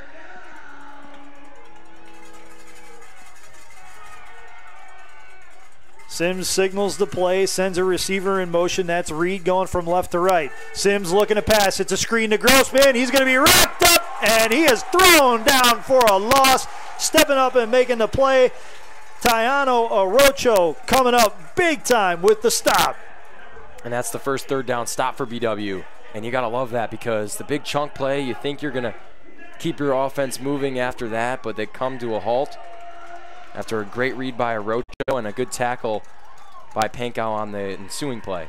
So it'll be fourth down and 18 from the BW 41 yard line, and Heidelberg calls on their punter, Brandon Steckel. He has five punts on the season for 206 yards, averaging 41 yards per kick, with a long of 59, one touchback, and two inside the 20. He hangs on high, and it is caught. Fair catch by Stokes at the 14 yard line. So he got he has another one inside the 20, and the Yellow Jackets have a long field to go. But most importantly, they stopped what was a promising drive for Heidelberg. Yeah, and now you're knotted up at 7 7. Three minutes left. You kind of have to be clock management type guys here and run this clock all the way down, get your team down the field. You get the ball in the second half if you're BW. So you want to play the clock to where you give as little time to Heidelberg as possible to score on the other end. The officials spotted the ball at the 15 yard line, so the Yellow Jackets face a first and 10 from their own 15. And Gibbons is back in at quarterback. He's going to give the inside draw to Murray. Murray powers his way behind left tackle. Modest gain of two yards out to the 17 yard line. Second and long for the Jackets. Heidelberg making it tough. Coming up and making a stop on first down. Makes you get more creative on second down.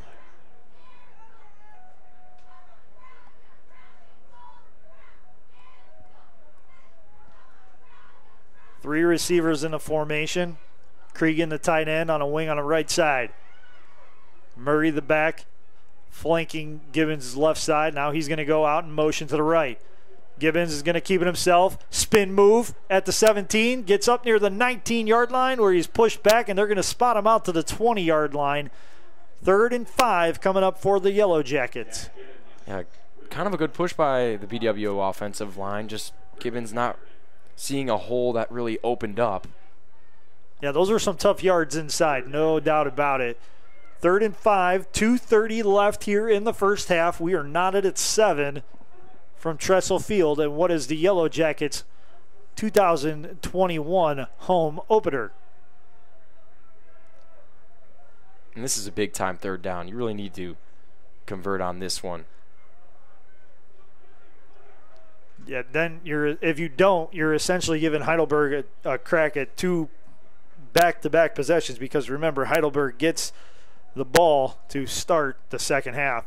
BW is going to run this play clock down all the way and then burn their second time out of the half. BW actually gets the ball after the second half, but um, you know that's what that's what deferring to the second half does. I really like that choice off the coin toss. You're right by BW because you know you know Heidelberg's going to come out playing fast, so you want to get that over with. And they made a stop on the first drive. There was a fumble uh, on the snap, and that killed Heidelberg's drive. Really killed their starting momentum. Now, if you're BW here on this third down, you have a chance to swing it your way, and the game tied. Huge third down at the end of the first half. BW 2 of 6 so far on third down. Only 122 total yards so far in this first half. Heidelberg already with 205.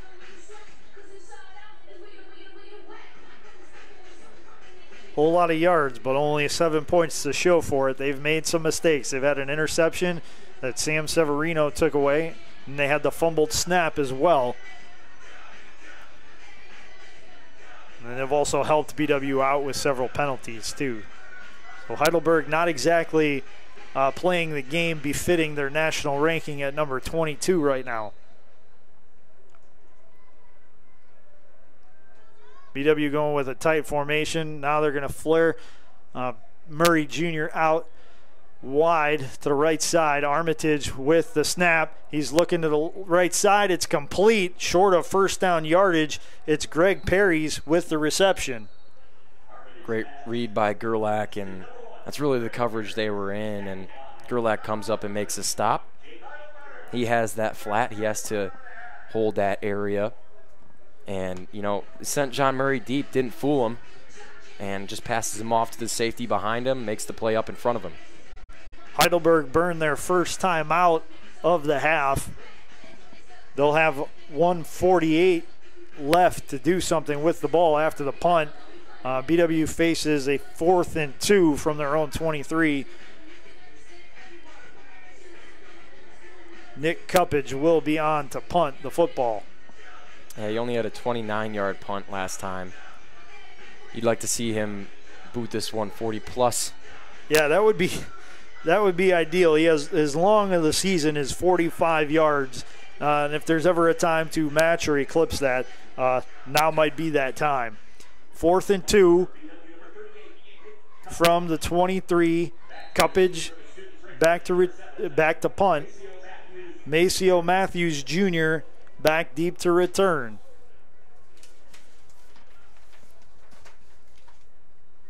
Cuppage puts his right foot into it, gets a decent punt off into the wind. Matthews Jr. fields it at the 38, dances around one tackle attempt, then a second, and pushes the ball up to the 49 yard line.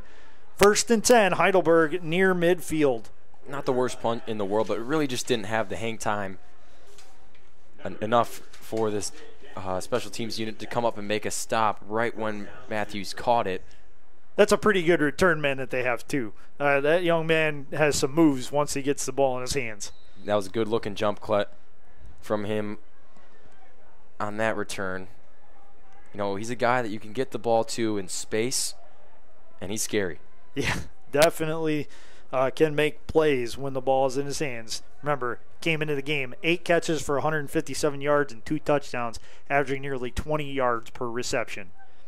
Sims with the snap. He's looking downfield. He's wrapped up and he is taken down in the backfield. That's Arocho again with another tackle for lost yardage. This time a quarterback sack. And just a great job by Arocho there. He just willed himself to the quarterback. I thought he was going to be out of the play. The lineman was sort of pushing him towards the end zone. He just turns the corner and makes a big play on Sims. Second and 17 from the Heidelberg 40 yard line. We're approaching a minute left in this first half. Sims again looking to pass. He's going to throw it over the middle, and it's going to sail incomplete. Looks like the intended target was Brandon Reed on a crossing route, but the ball was just a little bit too tall. And with a throw after the sack, that stops the clock with an incomplete pass. And if you're BW, you might take a timeout after this second down play if they run the clock because it's third and long.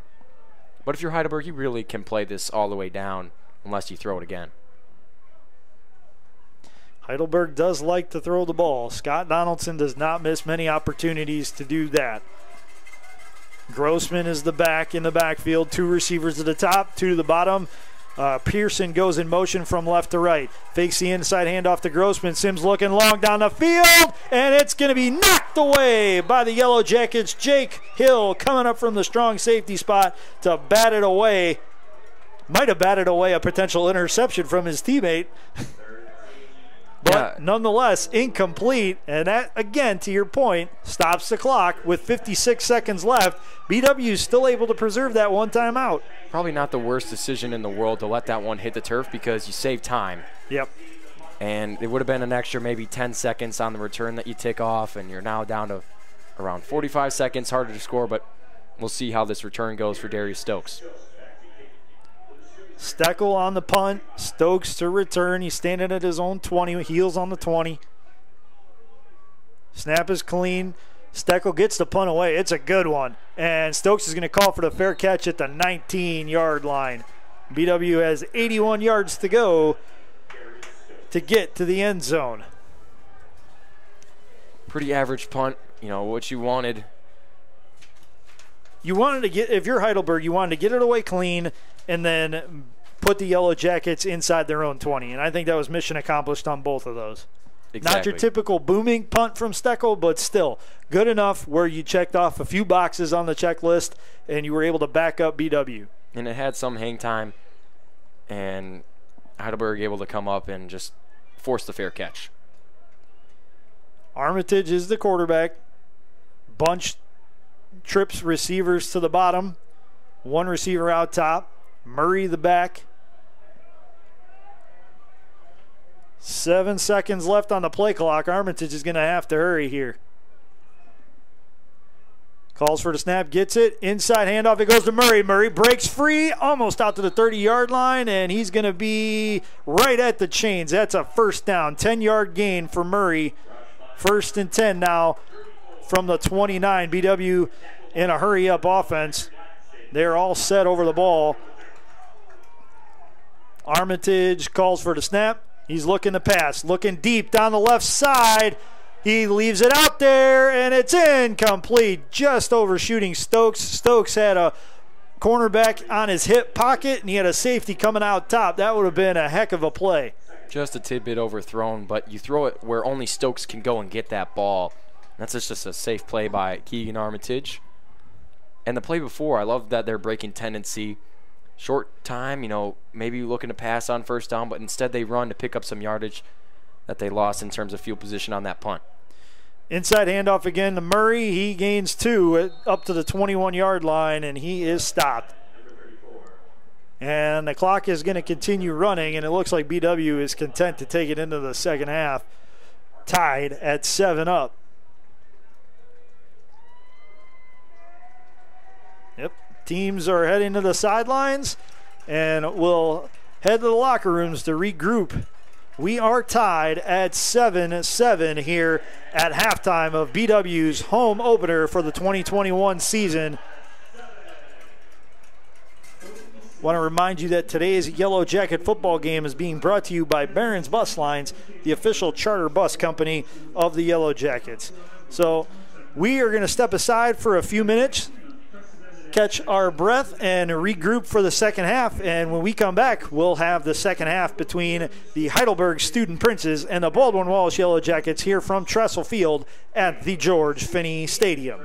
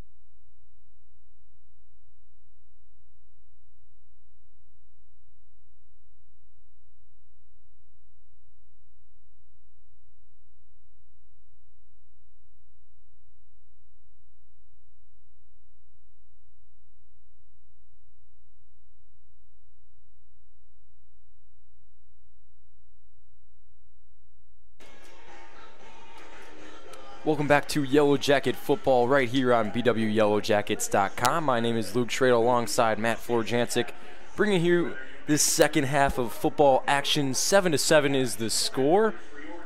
BW scored the last touchdown. They'll come out with the ball after halftime. They deferred to Heidelberg in the first half. What'd you see so far from this BW team in their home opener, Matt? I tell you what, what I've really liked is the way that they've balanced the run game between John Murray Jr and Jack Gibbons, the quarterback. I think that's a nice one-two punch that they've got. Armitage has been able to move the ball through the air, but he doesn't quite offer the the kind of out of the pocket escapability that Gibbons does. Uh, and Gibbons has had some success running the ball. Uh, defensively, uh, it starts really with the front.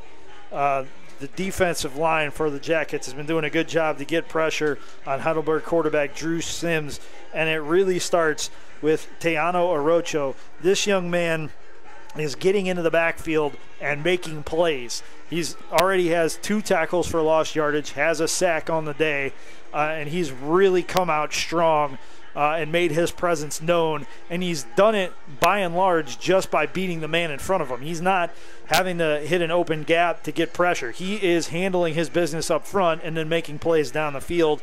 Uh, and then opportunities uh, for the Yellow Jackets to get turnovers. Uh, Heidelberg was driving on the opening possession of the game. BW pounces on a fumble after a high snap over the head of the quarterback. Uh, and then Sam Severino steps up and makes a brilliant interception that, again, stopped another promising Heidelberg scoring drive. BW is doing a good job to take advantage of the opportunities that they have. Yeah, and Heidelberg with four penalties for 19 yards, but three of those penalties were automatic first downs.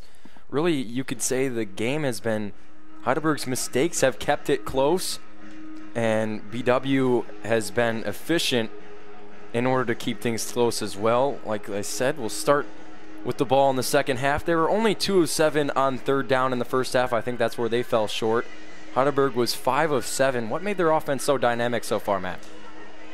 They were able to get the ball into the hands of their playmakers. Um, they're down. Keep in mind their leading rusher, or who was the leading rusher coming into the game, uh, Montavious Yearby. But they've relied they relied early on Jace Grossman and were able to get the ball up the field with some power runs. But Grossman is is more than just a power back. Yes, he's 5'11", 225 pounds, and can move a pile. But he also has some speed and some cutting ability when he gets up the field as well. Uh, so that was part of it. But also it was the distribution of the football. Uh, early on, Sims was locked on on Maceo Matthews Jr., and it's hard to hard to blame him for that when the young man averages almost 20 yards per reception. But as the first half kept going, he started to distribute the ball a little bit more to Brandon Reed and especially Glenn Pearson, who stepped up and had three catches on one drive alone. Then Dimitri Pennick got in on it uh, on the action, and that's key because Heidelberg lost tight end Nick Kofer very early in the game, uh, and he had established himself as the go-to target in this game. Really, that was part from what we've seen. That was a big part of their game plan was to involve him early and often in the passing game. But with him going out, Sims has spread the ball around and been able to get multiple playmakers involved. Yeah, even the last time these teams matched up, Nick Kofer was a huge part of that team. And without him and Montavious Yearby, it's been even tougher to move the ball, but they've done so successfully 197 total yards for Heidelberg in the first half, 137 for Baldwin Wallace, 14, 14 first downs for Heidelberg, and six of those came passing, eight of them came rushing. Like I said, five of seven on third down. About 50 seconds away from the second half kickoff. BW offense will come out with Keegan Armitage. He's 5 of 8 for 35 yards hasn't really gotten too involved in the passing game. And just no receiver has had two catches yet. And the biggest was Jake Novak's catch from Jack Gibbons that set them up in the red zone for their only touchdown of the day. Heidelberg breaking the huddle for this second half. Brandon Steckel will do the kicking. Excuse me, that's Parker Smith out there. Wind has shifted a little bit. Instead of going from south to north, it's more of a, a southwest to a northeast crosswind here at Finnie Stadium. Something to keep an eye on here in the second half. BW will be driving into it in this third quarter. And that affects their passing attack. But they love to run it. John Murray already with 11 attempts on the ground for 39 yards and a touchdown. Steckel to kick things off in the second half. Tie game between number 22 Heidelberg and the Baldwin Wallace Yellow Jackets gets underway in the second half. Here's Ian Mitchell from the five yard line. That's Greg Perry's back there. About a 15 yard return up to the 20. And here come the Yellow Jacket offense. And we're stopped on their last drive on third down. About two minutes left in the half. They punted it back to Heidelberg and made a stop. And here we find ourselves with a 7 7 game. And Armitage is going to be the first quarterback to see action here in the second half. Saw them go with both Jack Gibbons and Keegan Armitage. Gibbons has only thrown twice, but he's ran the ball eight times for 35 yards. Armitage in the gun. Murray to his right, trips right. Sten Perry's in motion. He comes back. Hand off to Murray up the middle. Not too much there. Two yard pickup on the play. Second down and eight ensuing. Yeah, those are tough yards in between the tackles. There's a lot of, a lot of beef up front. Even though uh, there's only three D down linemen for Heidelberg, it's still tough to run against them because they they can make plays in the backfield. Defensive end Jared Evans has three and a half tackles for loss coming into the game. Now it's second down, two running backs. Rocco Del Verme comes into the game. Lomeo out wide on the top of your screen. Stokes in the slot on the right. Armitage takes the snap, hands off Murray, and Murray is stuffed in the backfield. Loss of two on the play. And now it's third down and long for Keegan Armitage. Those are some tough sledding up front. The offensive line not doing much to open up space for Murray to get through there.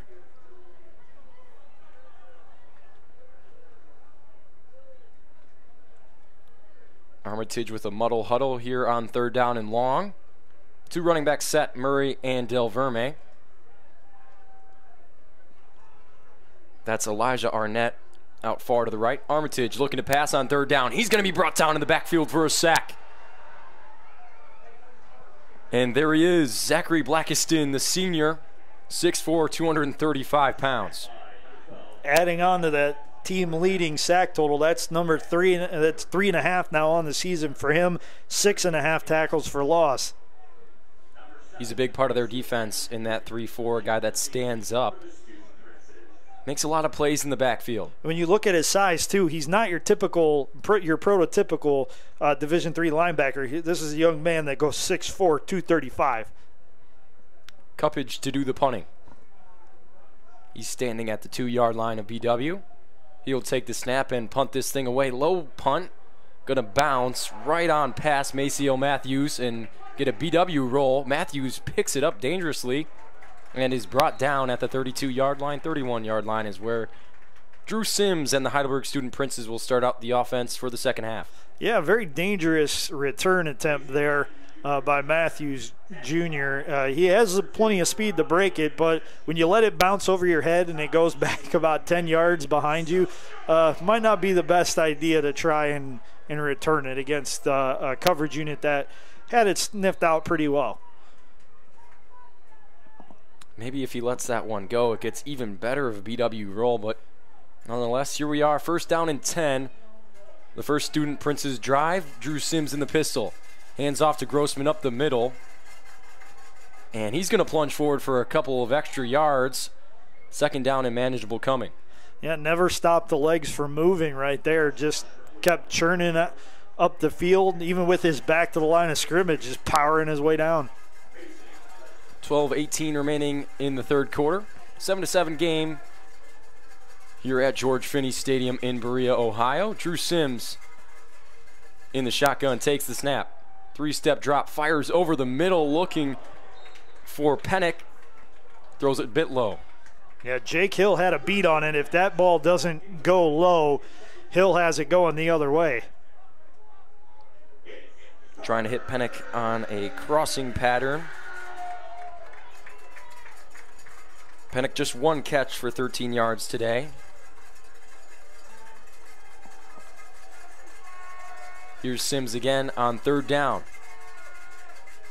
Takes a snap, looks over to the right side, fires over to Brandon Reed, and just out of his reach, incomplete, fourth down coming. I think Sims had more time than he gave himself credit for on that play. He didn't really get a chance to set his feet before he fired the out route to Reed. Uh, if he sets on the back foot and drives off of it, I think that's a completion and a first down. So the BW defense comes out with a stop on the first drive of this third quarter. On to do the punting is Parker Smith. The senior for the student princes. Back to receive is Darius Stokes. High booming kick, and Stokes will bring it down for a fair catch at the 25 yard line. And that's where Keegan Armitage will come out for another drive in this third quarter. Yeah, good decisions so far on these punt returns uh, to call fair catch. Uh, Steckel and, Smith have both given Heidelberg coverage uh, teams plenty of time to get downfield, and it's smart just to live the fight another day if you're Darius Stokes. And Stokes comes out top of your screen to the left. Gibbons will come in at quarterback for this drive to start things off. Murray to his left, trips right. Cregan goes in motion. Back to his normal spot. Hand off to Murray on the outside. He's got a little room. And he takes it up to the 36 yard line. First down, Yellow Jackets. That's where Murray needs to start getting more opportunities is on that outside because he has a lot of speed and he has a mix of power that he's able to use to get to that outside and make yards downfield. Gibbons quick. And the read option keeps it himself.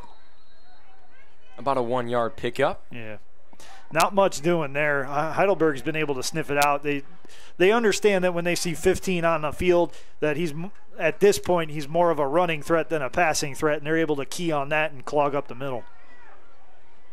That's Gibbons' ninth carry of the game. Two running backs set now. That's John Murray Jr. and number 31, DJ Griffiths junior out of Lake Catholic. Here's Gibbons, takes the snap, fakes the handoff, and he's got some running room in front of him. Makes a move past the 50, and that's where he's brought down for a first down, Yellow Jackets. You have to credit Gibbons. Uh, he's not the biggest kid at 6'2, 190, but he doesn't look to slide very much when he rushes out of the pocket, and that was another example. He likes to use his athleticism and use some spin moves to get those extra yards. And now the offense just a bit past midfield. Gibbons with the two running back set again. Takes it himself again. And he's hit hard after a nine yard pickup. Again, good job of running in between the tackles and putting that second running back in the backfield has really helped Gibbons be able to open up this Heidelberg defense. They don't know who to key in on, so they can't just clog the middle and leave outside rushing lanes. Well said. Here on second down and one, Gibbons just Murray to his left, trips left, takes the snap, looking right, fires deep downfield, making the catch is Jake Novak on the sideline, toe tap. Would have been good in the NFL as he got both feet down. Good job to bring that down and get his feet down in bounds. And now the Yellow Jacket offense inside the red zone for the third time today. Couldn't come away with a score on their last attempt. Gibbons takes it again himself on the read option. Plunges up the middle for two yards. Second down and eight.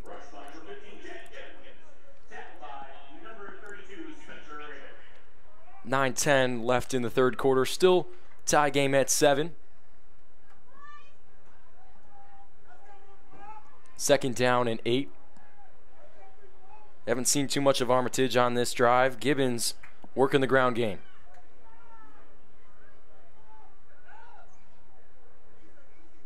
Takes the snap. Hands off John Murray Jr. around the left guard. And the helmet pops off of Student Prince. Yeah, one of the defenders came up and got a little bit more than he planned on on that one. He has to step off after his helmet popped off for just one play. John Murray Jr. coming off after that play. Jaden Harris going back in now uh, for this third down. Gibbons still in there at quarterback with the Jackets running the ball, they've really worn down this clock. We're already over six minutes on this drive. Jackets controlling the time of possession. 20 minutes to 13 minutes at the moment. Here's Gibbons. Hand off to Jaden Harris and really nowhere to go. Brought down in the backfield for a loss.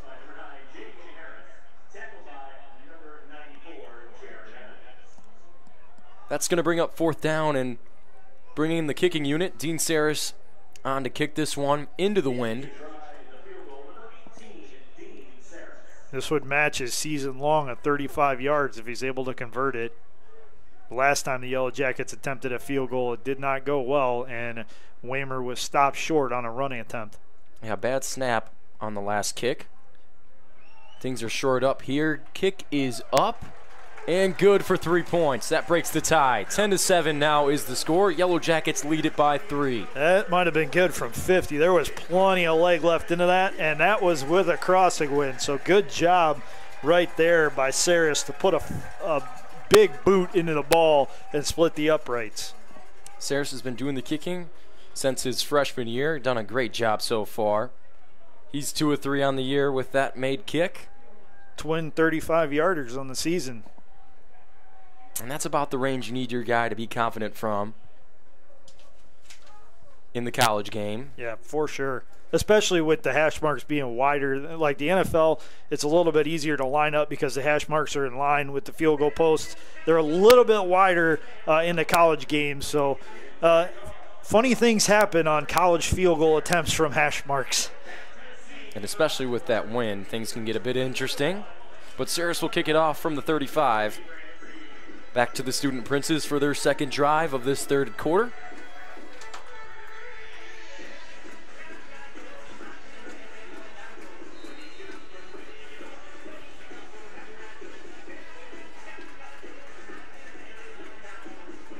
That was an eight play, 56 yard drive from BW that ends in a field goal. Now Saris on to kick it back away. Short, low kick Received by Grossman at around the 28 yard line. He's moving it up. Flag on the play. But right now, the student princes have good field position at the 44. Yeah, it might be coming back though because the, both the line judge and it looks like the umpire threw their flags in the same spot. See what the call is here.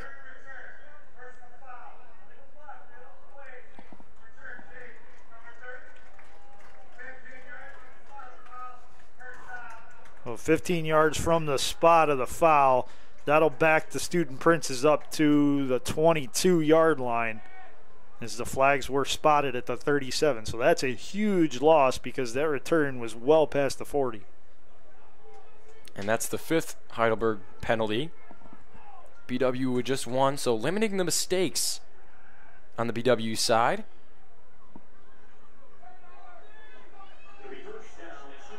And Drew Sims will come out at the 22 yard line. Grossman in the backfield to his left. Maceo Jr. at the bottom of trips left. Fires over the middle. Quick hook up between Sims and Glenn Pearson. They're going to move the chains for a first down. That's an example of why wide receivers don't like going over the middle too often because Pearson got blasted on that play by one of the safeties for the Yellow Jackets. Sims, first down again. Takes the snap, hands off Grossman. Grossman with some running room. Picks up four yards on first down. What we're noticing here with Heidelberg's offensive line is they don't just block at the line of scrimmage. They continue to pursue their blocks as the ball gets downfield. They really try to extend those running plays as much as possible to help give Grossman some support.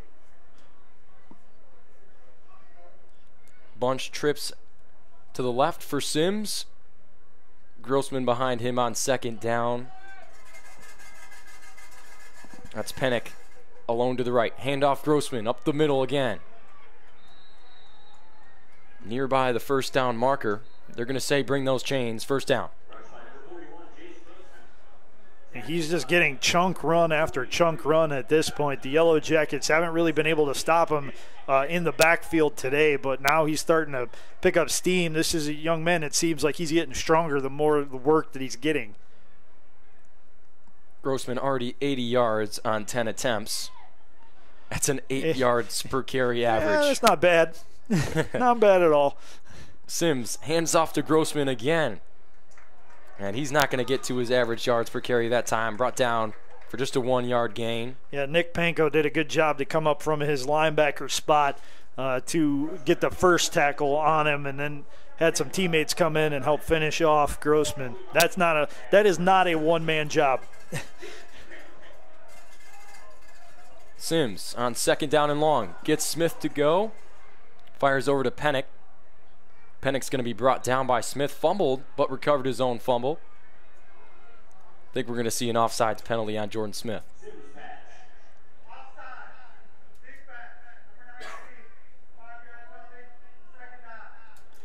Just as you called it, partner. Jordan Smith, a little bit over aggressive on the pursuit there, and he just gave Heidelberg another free five yards. That's his second full start offsides penalty, excuse me, of the day for Jordan Smith. Just the second BW penalty. Now Sims with second down and manageable. Grossman behind him in the pistol. He's got Pennick alone far out white. Hands off to Grossman. Grossman picks up the first down. Interesting formation for the Yellow Jackets on that play, knowing that it was short yardage knowing that it was short yardage and Grossman was likely to get it, the Yellow Jackets went 3 3 5 on their defensive set. Three down linemen, three linebackers, and five DBs to account for the four receivers that Heidelberg had on the field. And that opened some rushing lanes for, for Grossman. He really had his pick of left or right uh, to be able to get that first down.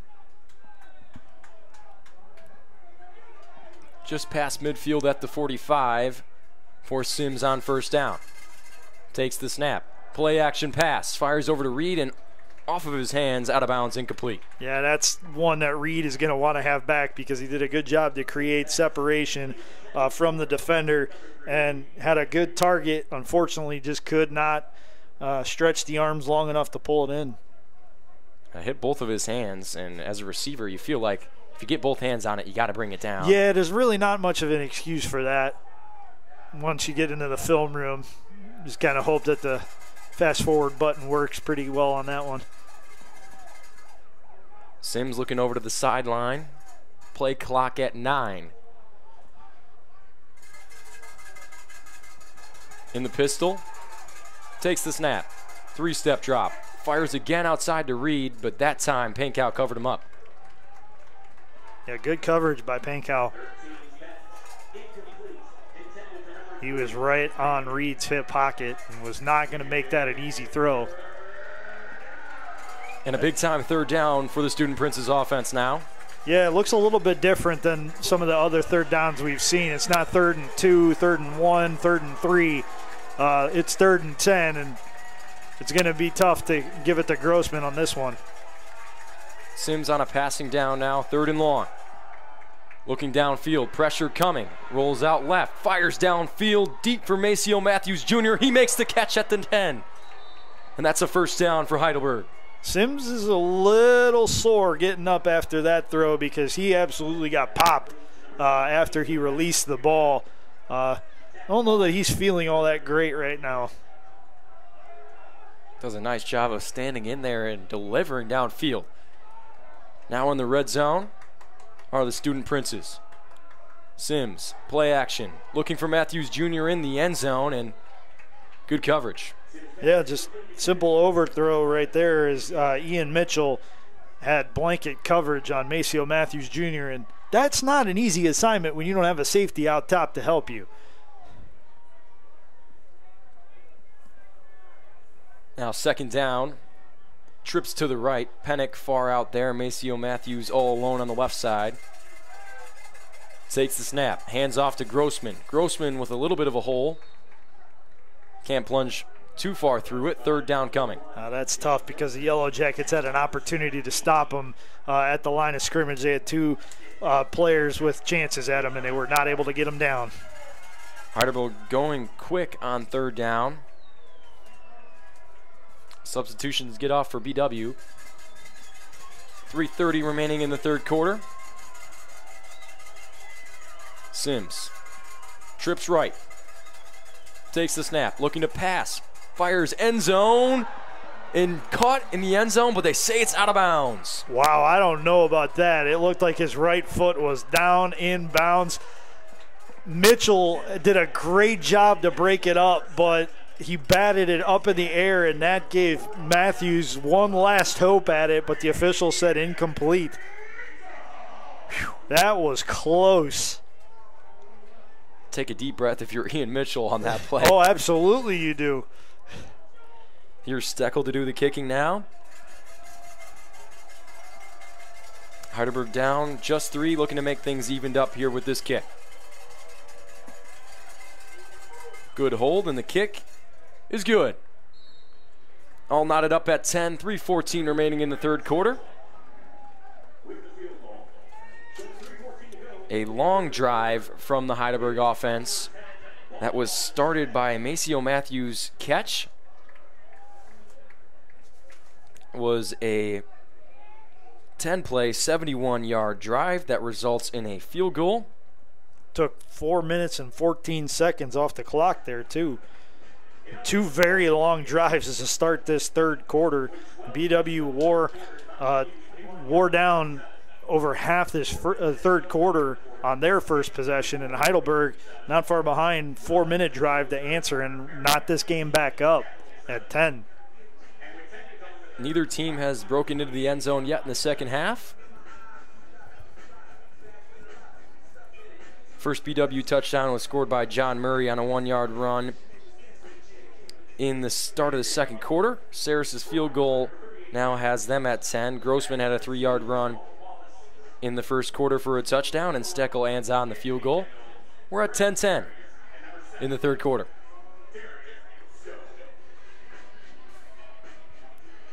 Steckel kicks this one off. Perry's back there to receive, and he'll take it. Past the 20, up to the 24 yard line where he's brought down. 20 yard return for Perry's. That's a good run back. Perry's with the acceleration up to the 24.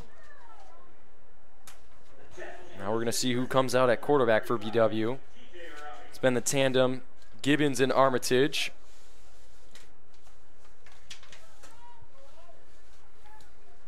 BW has 189 total yards. 77 of those have came passing the ball. 112 rushing. They do bring out Jack Gibbons on first down. Takes the snap. He'll run it himself on the counter. And he's flipped by Tremont Wiley and brought down. And he's going to have to come off because his helmet popped loose on that play. So That'll bring in Armitage. That's an unfortunate break for the Yellow Jackets because if Gibbons is having more success with the offense moving by running the football, that kind of takes that element out for a player too.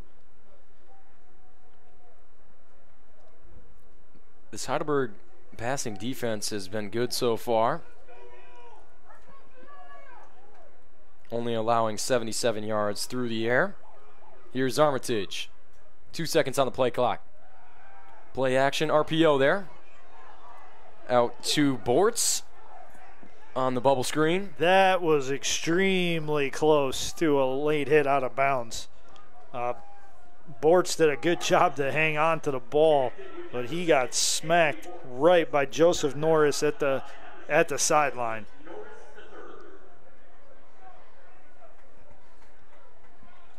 Good read by Armitage to get it out to Bortz on the run pass option. BW getting the play from head coach Jim Hilver. Uh, they're going to end up using a timeout here. And the first BW timeout is called with 150 remaining in the third quarter. Score is 10 to 10.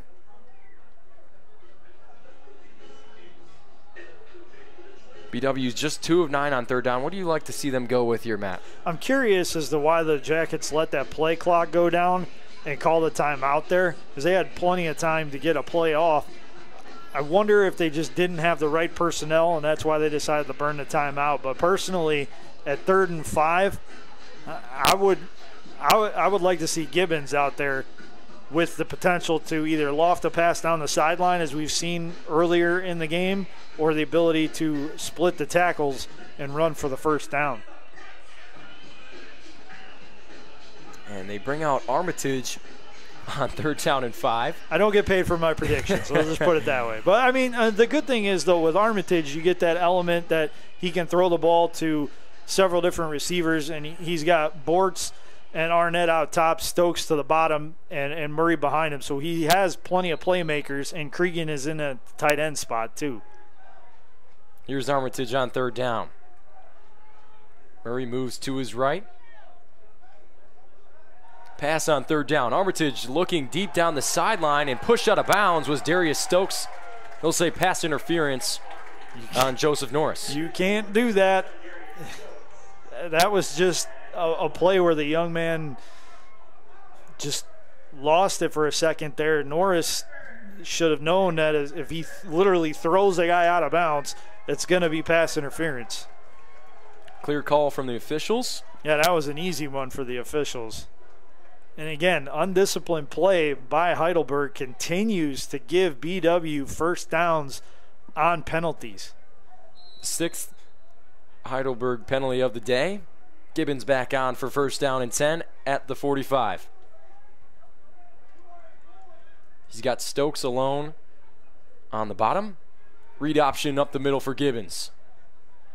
Gibbons going to pick up about four yards on first down. Second down and six coming up. BW has 15 first downs in the game. Four of them have come via the penalty. And that's just so big. At some point, that's going to come back to haunt Heidelberg whether it's today or later on in the year, you continue to compound those mistakes and be one of the most penalized teams in in Division Three, it's gonna hurt. BW bringing in a second tight end. That's Jason Barczyk. Him and Cregan are tight to that right side. Gibbons on second down. Back to pass this time. Looking deep downfield and can't bring it down. That was Elijah Arnett on the outside. Couldn't bring down the catch. Yeah, that would have been a tough play to make. Those fade routes aren't exactly easy, and he was really tight to the sideline. Just to be able to get a hand on it was was very athletic of him. I mean, it, that was just a tough play, and that was easily the longest ball we've seen Gibbons throw this game. And that was, I mean, it was right where it needed to be. That was just a really tough play. Yeah, great offense, but better defense there. Third down and manageable for Keegan Armitage and the Yellow Jacket offense. Murray to his right. Stokes in motion right to left. Armitage looking to pass. Fires over the middle. Caught for the first down. That's Hyduke, Jake Hyduke. Making a catch, his first of the day just his third on the season, and he more than uh, uh, exceeded his yardage total of 10 coming into the game on that play. That was a big time catch, big time pitch and catch by the Yellow Jackets. Armitage now 6 of 9 for 37 yards. After that pitch and catch with Jake Hyduke. Armitage now at the 27 yard line. Stokes in motion. Back tight to the right side. Armitage. Pitch to Murray on the outside. And he's brought down. Good pursuit by the Heidelberg defense. Yeah, but still a good a good gain on first down. Get three, four yards. You expend the rest of the third quarter clock, and you take us into the fourth here. We're headed into the fourth quarter on BWYellowJackets.com, tied at 10. Luke Schradel alongside Matt Florjancic. We got a good game on tap for us today. We sure do. Two of the top teams in the Ohio Athletic Conference. Heidelberg came in at 3 0, BW 2 and 1. Both of these teams looking to keep pace near the top of the standings. Heidelberg wants to keep their uh, record unblemished. Um, they've they've got some bigger games coming up later in the year that they know that they're going to have to have a good record for if they want to get to the playoffs. And BW uh, already taking that loss to Mount Union, uh, they know they can ill afford a, a second setback uh, if they want to keep their postseason hopes on the table. Now the offense with a chance in Heidelberg territory to take the lead. And Jack Gibbons will stay in there at quarterback. He's already 68 yards rushing. He's the leading rusher for BW. 14 attempts, 68 yards. If it wasn't for Gross for Heidelberg, he might be the leading rusher on both sides of the uh, for either team just a, a, good performance so far by him running the ball.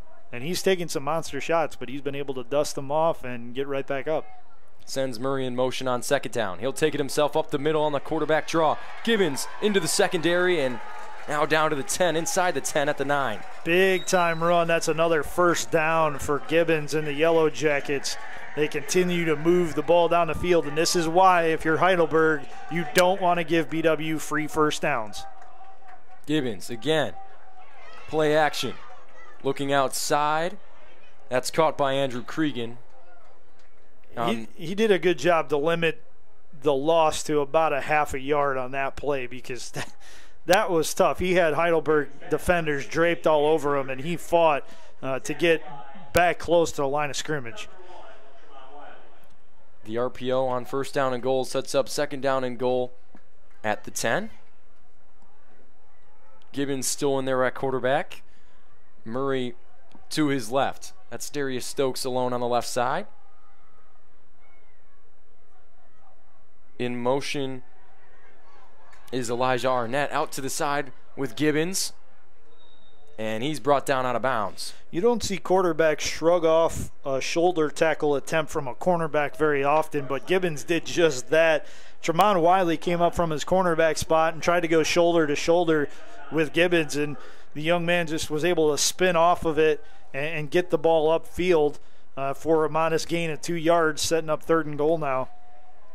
Two tight ends come on, come out for two receivers. Armitage back into the game, so we're thinking pass on third down for the Yellow Jacket offense. Duke up top, and Arnett down on the near side. Armitage looking to pass on third down. Rolling left. Can't get it away and sacked. That'll bring up fourth down and most likely bring out the kicking unit. Yeah, coming up with the stop on that one was the defensive tackle, Tyler Torek. The 6'5, 260 pounder was able to use uh, his strength to break contain along the Yellow Jacket offensive line and register uh, another sack. He now has one and a half on the season about a 30 yarder for Dean Saris. Hole is good. Kick is up. And that one's good. 13 10 the score. And the Jackets now have a lead. Their second lead of the game now. Let's see if they're able to hold it and get another key defensive stop. Remember, they were up 10 to 7, and then Heidelberg came down and tied it back up at 10. Now BW has to come out and put up a zero and try to get the ball into the hands of the offense once more. Yeah, they've really done a nice job of controlling the time of possession. It's 30 minutes to 17 minutes, Matt, and when you run the ball like that, if your defense can get off quick, you know that Heidelberg defense is going to be really tired going into the next drive if you can get a three and out. For sure, yeah, absolutely. When you look at BW's first drive of the second half was over seven and a half minutes. Heidelberg's was barely half of that. So their defense isn't getting a lot of time to rest, and that is something that could bode in the Yellow Jackets' favor here in the fourth quarter. Especially when you're playing against a big play offense like Heidelberg. They like to throw it down the field. They sure do, but the drawback to that is when it's incomplete, you don't take a whole lot of time off the clock, and if you go three and out, you you may expend 20 seconds off of the game clock. Saris to kick things away at the 35. Reed trailing back to the end zone. He'll pick it up inside his own end zone. And break a tackle at the 10. Reverses field and brought down by DJ Griffiths at the 15 yard line. Yeah, Reed actually cost himself about five yards on that when he tried to spin backwards and and create more of a, a running lane for himself. There was just a wall of Yellow Jacket defenders there uh, that was not going to let him get loose and get downfield. Not the greatest field position to start for Drew Sims. Hasn't thrown a touchdown yet today. One interception on 194 yards passing. He's 15 and 29. Around the 50% mark. Which is where he's at for most of the year, coming in 56.7%. And the handoff is blown up by Tano Arocho. Grossman had nowhere to go. That is a young man that is playing his heart out today, and it is resulting in tackle for loss after tackle for loss. That is his third TFL, and that came against the guy who was averaging almost eight yards a carry in Chase Grossman. Big time play for the senior from North Carolina. Sims now on second down. Four receiver set. Takes the snap. Three step drop. Looking far side for Reed, and he makes the catch. He'll pick up the first down. Nice pitch and catch for Drew Sims and Jordan Reed. Yeah, that's absolutely the way you want to get out of a second and long. Just go to one of your more uh, more reliable wide receivers in open space and one-on-one coverage. Reed's been able to get open. It's just been has he been able to haul it in? Does so that time. Picks up the first down. Heidelberg passing again on first down. And that one's tipped at the line. Yeah, Mason Levasseur got a got a paw up in the air and was able to bat that one down. That's his third pass breakup on the year. 11:21 remaining in the game. 13 to 10 the score. Second down and 10 for the Student Princes. Sims takes the snap, hands off to Grossman. He's blown up again. The BW defense is there. That's Jordan Smith this time. Yeah, that's that's a good bit of defense right there by the Yellow Jackets on this drive. That's twice that they've been able to bottle up a guy who previously had been able to run at will on them. Third down and long now for Sims. Trips to the right. Takes the snap. Looking right side. Nearly intercepted, and he does catch it on the ground. Nico Pappas. What a play on the interception. Excuse me, that's Jake Hill with the interception. Yeah, Hill did a good job to bat it out of the air, and then as he fell to the turf, the ball fell on top of him, and he was able to get the INT. That's the third forced turnover by the Yellow Jackets tonight.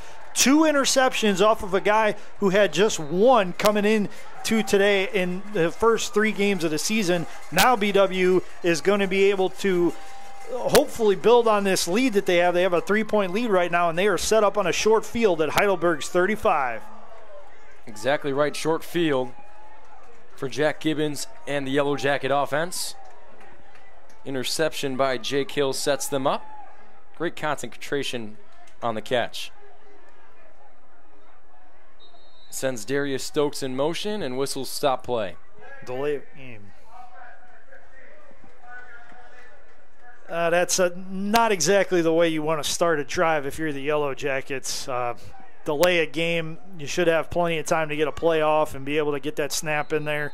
Just not meant to be on that one, so BW just makes it a little bit more difficult on themselves with that five yard penalty. Gibbons has Stokes on the near side alone, sends him in motion from left to right. He'll hand off to Stokes on the outside, brought down in the backfield deep. That's going to be around a six yard loss. Yeah, they mark him down at the 45, so another five yards backwards. BW is quickly marching the wrong way on this one, and they are they're in a world of hurt now because what was promising at first and 10 from the 35 is now second and 20 from the 45. Get a huge momentum swinger in the third turnover.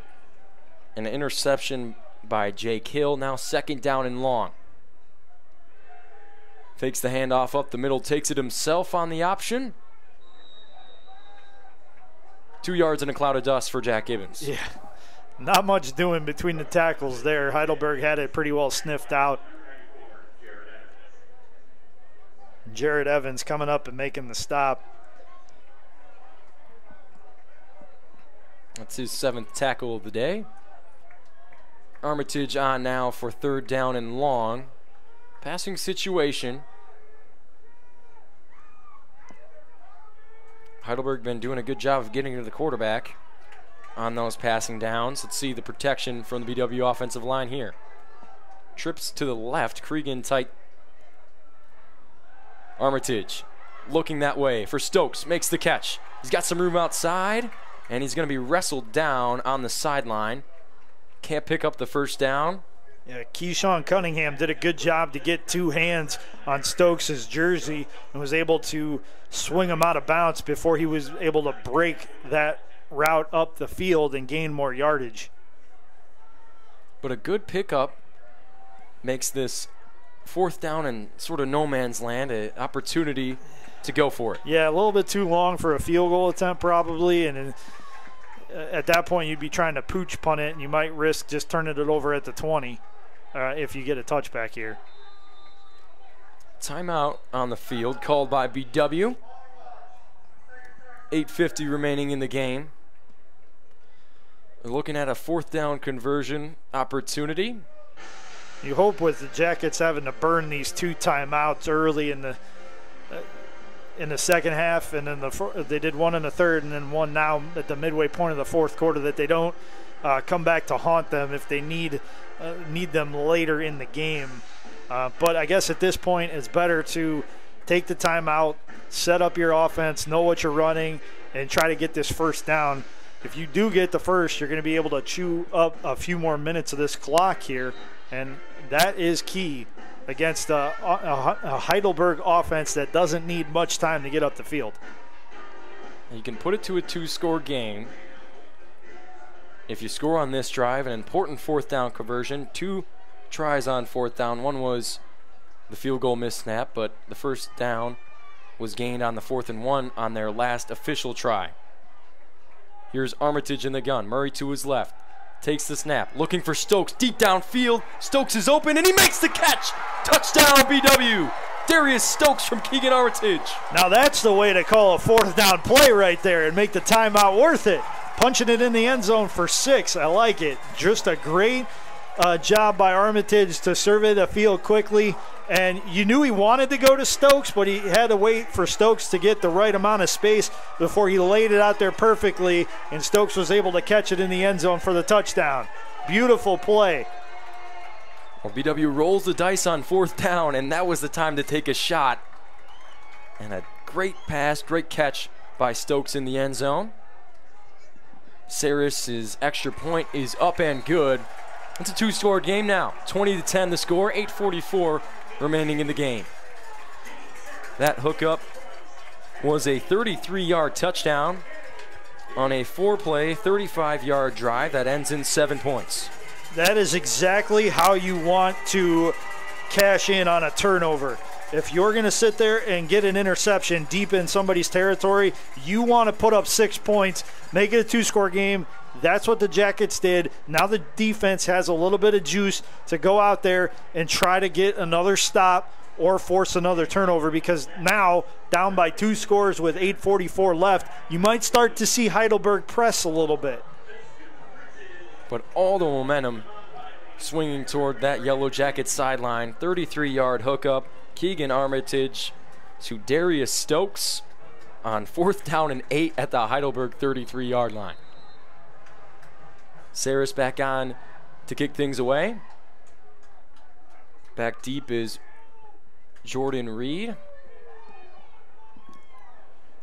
alongside Tremont Wiley. He says, You take it, Reed, and he'll take it at the eight yard line. Past the 25, up to the 30. And brought down fumble. Ball's on the ground. I think Heidelberg able to come up with it. Yeah, I think you're right. But man, that was that was awfully dangerous by trying to get those extra few yards. That almost cost Heidelberg another possession. They'll set up in good field position, though, at the 37 yard line. Drew Sims, uncharacteristic game for him. Two interceptions so far. Only one interception on the year coming into the game. Hasn't thrown a touchdown. 208 yards through the air. But Grossman's been the guy they've been going to. 99 yards on the ground. What do you do here if you're the Heidelberg offense on this drive? You have enough time that you could feature the running game here and try to wear down the Yellow Jackets before you hit them with a big play. Here's Sims on first down, looking to pass, eluding the rush, but he's going to be brought down. And a flag after the play. That's Sekou Imani with the sack. He combined with Tano Arocho on the play. And a holding, but the offense will be declined Second down and a loss of five, so second down and 15. We had a rule when we were playing growing up. If you get called for a holding penalty, your quarterback better not have any dirt left on his jersey on that one. And he took a big pop, missed Grossman open in the flat. It wouldn't have been a big gain, but it still would have set him up second and, and medium, probably second and seven to second and five. Now they're facing second and 15 here. Sims has trips to the right. Lone receiver on the far side. Grossman behind in the pistol. Sims takes the snap. Hands off Grossman up the middle. Grossman with some running room. And one yard away from the original marker. Third and long, third and 11.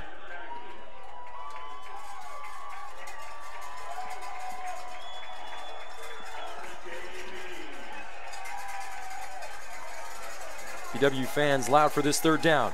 Here's Sims looking, finds Grossman on the sideline, but that's not going to be enough to pick up the first down.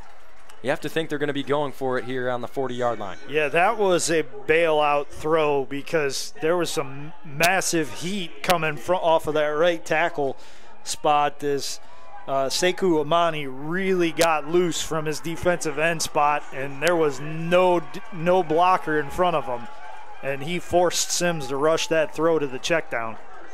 Sekou Amani, second team All OAC in 2019. Big time player for this Yellow Jacket defense. The guy has a lot of speed, a lot of strength. He's able to shed blockers and get upfield and really make hay in that backfield. Heidelberg chooses to punt here. They trust their defense. Stokes back there to receive. Fair catch at the 27. Still got a lot of time on the clock, so necessarily don't need to go for it there on fourth. No, not so much, but you do need to get a stop here, though. You can't afford to let BW uh, have another one of the drives that they were able to start the second half with, where they went 732 with possession. You need to get a three and out here if you're Heidelberg's defense. Conversely, if you're BW, you know, you want to keep the ball in bounds, you want to keep running the ball, avoid the turnovers, and just wear down that clock. And that's where they've had so much success 41 rushing attempts to just 17 passes. And Gibbons in on first down at quarterback, hands off to Murray up the middle. A hole opens up for Murray, breaks some tackles. He's going to pick up first down yardage. Yeah, good solid run following the left tackle block of Liam Levetto and the left guard George Newcomb. They were able to open up the space for him, and he was able to get downfield for that first down. Time is ticking. 6.30 remaining in the game. A 10 point lead for Baldwin Wallace.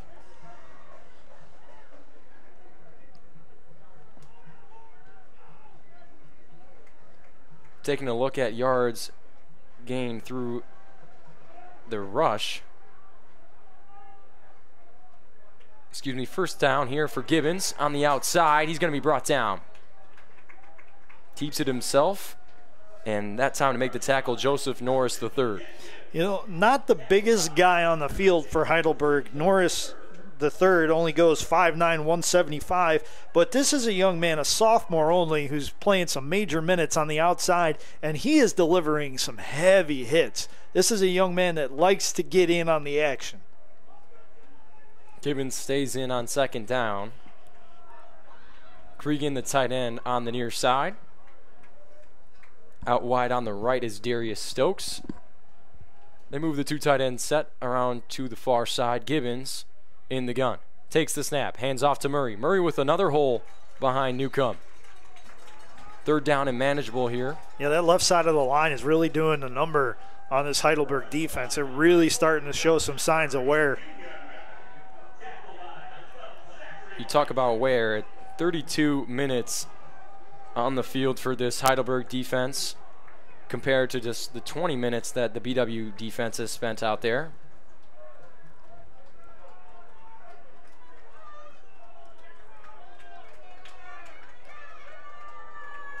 Credit this BW coaching staff to playing to their strengths.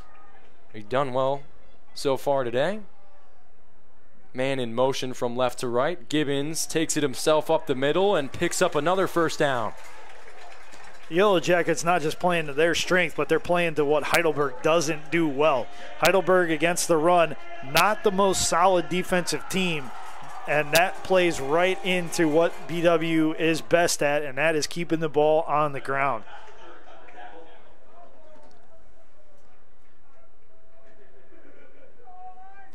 Might start to wonder how much longer Scott Donaldson can go before starting to have to burn some of those timeouts because BW is already chewed up over two and a half minutes on this possession.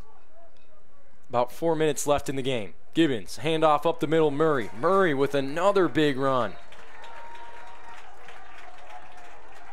And they keep going over the left guard, George Newcomb at this point, it's a battle of wills, and un- unfor- or fortunately for the Yellow Jackets, rather, their front five, their starting offensive line, is really imposing their will on this Heidelberg front seven and giving Murray and Gibbons those extra one to two yards per carry.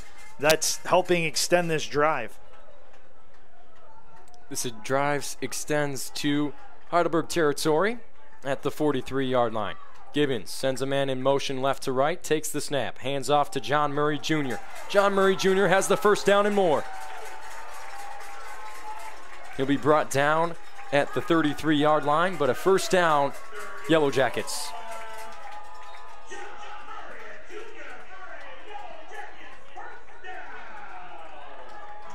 BW with two rushers nearby 100 yards. Gibbons 92 yards, 20 attempts. John Murray 80 yards, 19 attempts. Be nice to get at least one of those young men above that century mark today. Both of them have really done a number on this Heidelberg defense. Murray with a nine yard gain on that play. Here's Gibbons again on first down. Hands off to Murray up the middle again. Up past the 30, and that's where they'll spot him. Second down, timeout Heidelberg. That's their first. They have two more just 236 left to go here in the fourth quarter. But those turnovers have made game management really easy for this BW offense. Today's Yellow Jacket football game is being brought to you by BSN Sports and Nike, the official apparel and uniform provider for Yellow Jacket Athletics. Cleveland Clinic Sports Medicine, proud medic- medicinal provider for BW Athletics and its student athletes. And the Dan Andrews and Olympic Forest Products, a global recycling company. So 236 on the game clock. BW with a 10 point lead and the ball.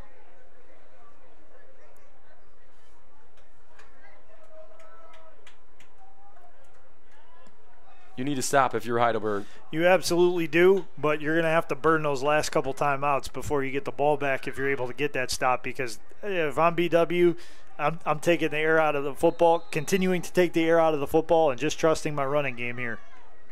Two tight ends in on second down and five.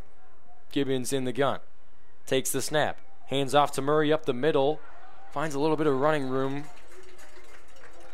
and third down and one coming after a three yard pickup by John Murray. And an offensive lineman is down. Yeah, the center, Javon Megadurchian, is getting attended to on the field. He just stood up really quickly, so that's a good sign, but he will definitely have to come out. And that would turn it over to, according to the depth chart, that would give Nate Sam Blanett, the 6'2", 290 pound sophomore, an opportunity to run a couple plays. And that center quarterback relationship so important, especially in the shotgun. BW's on on the sideline is having their right guard actually Patrick Simon, a 6'2", 290 pound senior, snapping to one of the assistant coaches right now. So I wonder if there's going to be uh, some shifting along that offensive line.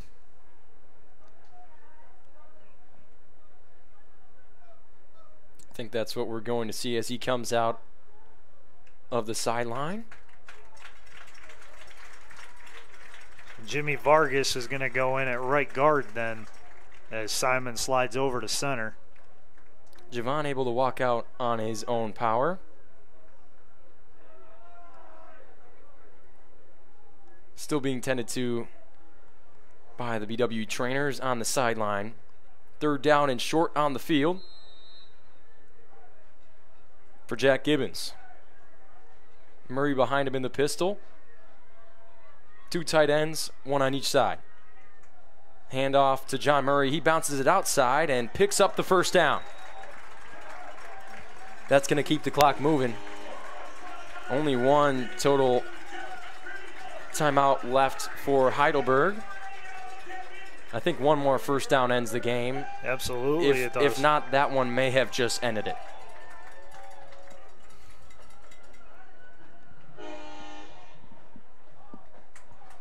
The story has been the BW ground game getting it done. Murray just three yards away from passing that 100 yard marker. 179 yards on the ground for the Jackets today.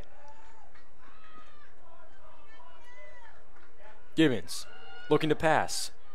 And he handed it off. it was a great fake by Gibbons, but handed it off to John Murray up the middle. And he goes nowhere. Timeout Heidelberg, now third down and long for the BW offense. 142 to go. That hurts the stats a little bit for Murray. He's now at 95 yards on 23 carries, an average of 4.1 yards per per rush with the one touchdown in the first half.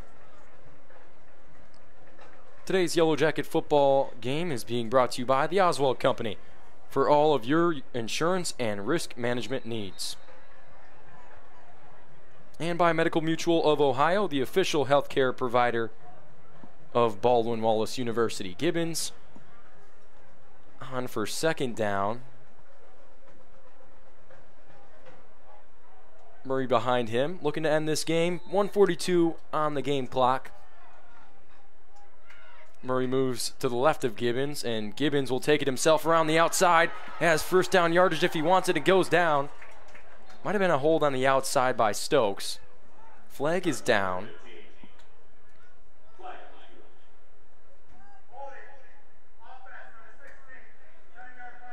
Cregan, the guilty party, the senior tight end, whistled for the hold. That'll back BW up 10 yards. Still second down.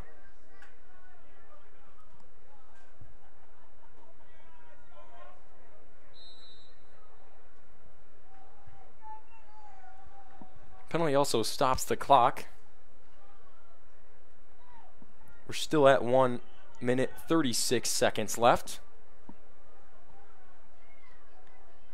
Gibbons in the shotgun. Two receivers out on the far side.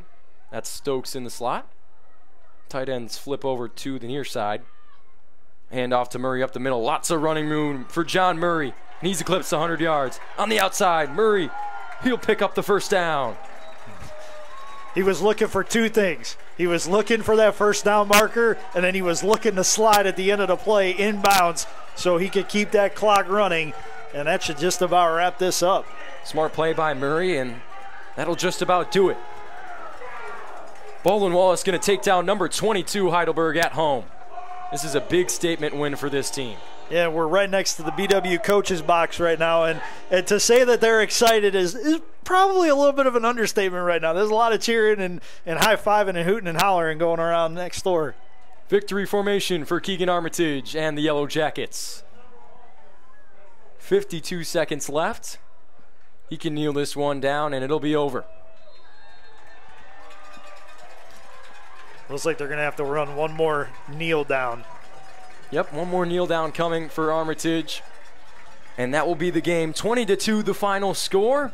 BW takes down number 22 Heidelberg in convincing fashion. And they got it done on the ground with two 100 yard rushers. Jack Gibbons with 103 yards rushing on 21 attempts. John Murray Jr. with 112 yards rushing on 23 attempts. And that's the game, folks. 20 to 10 the final score. BW takes down Heidelberg for their third win of the season. They'll improve to three and one.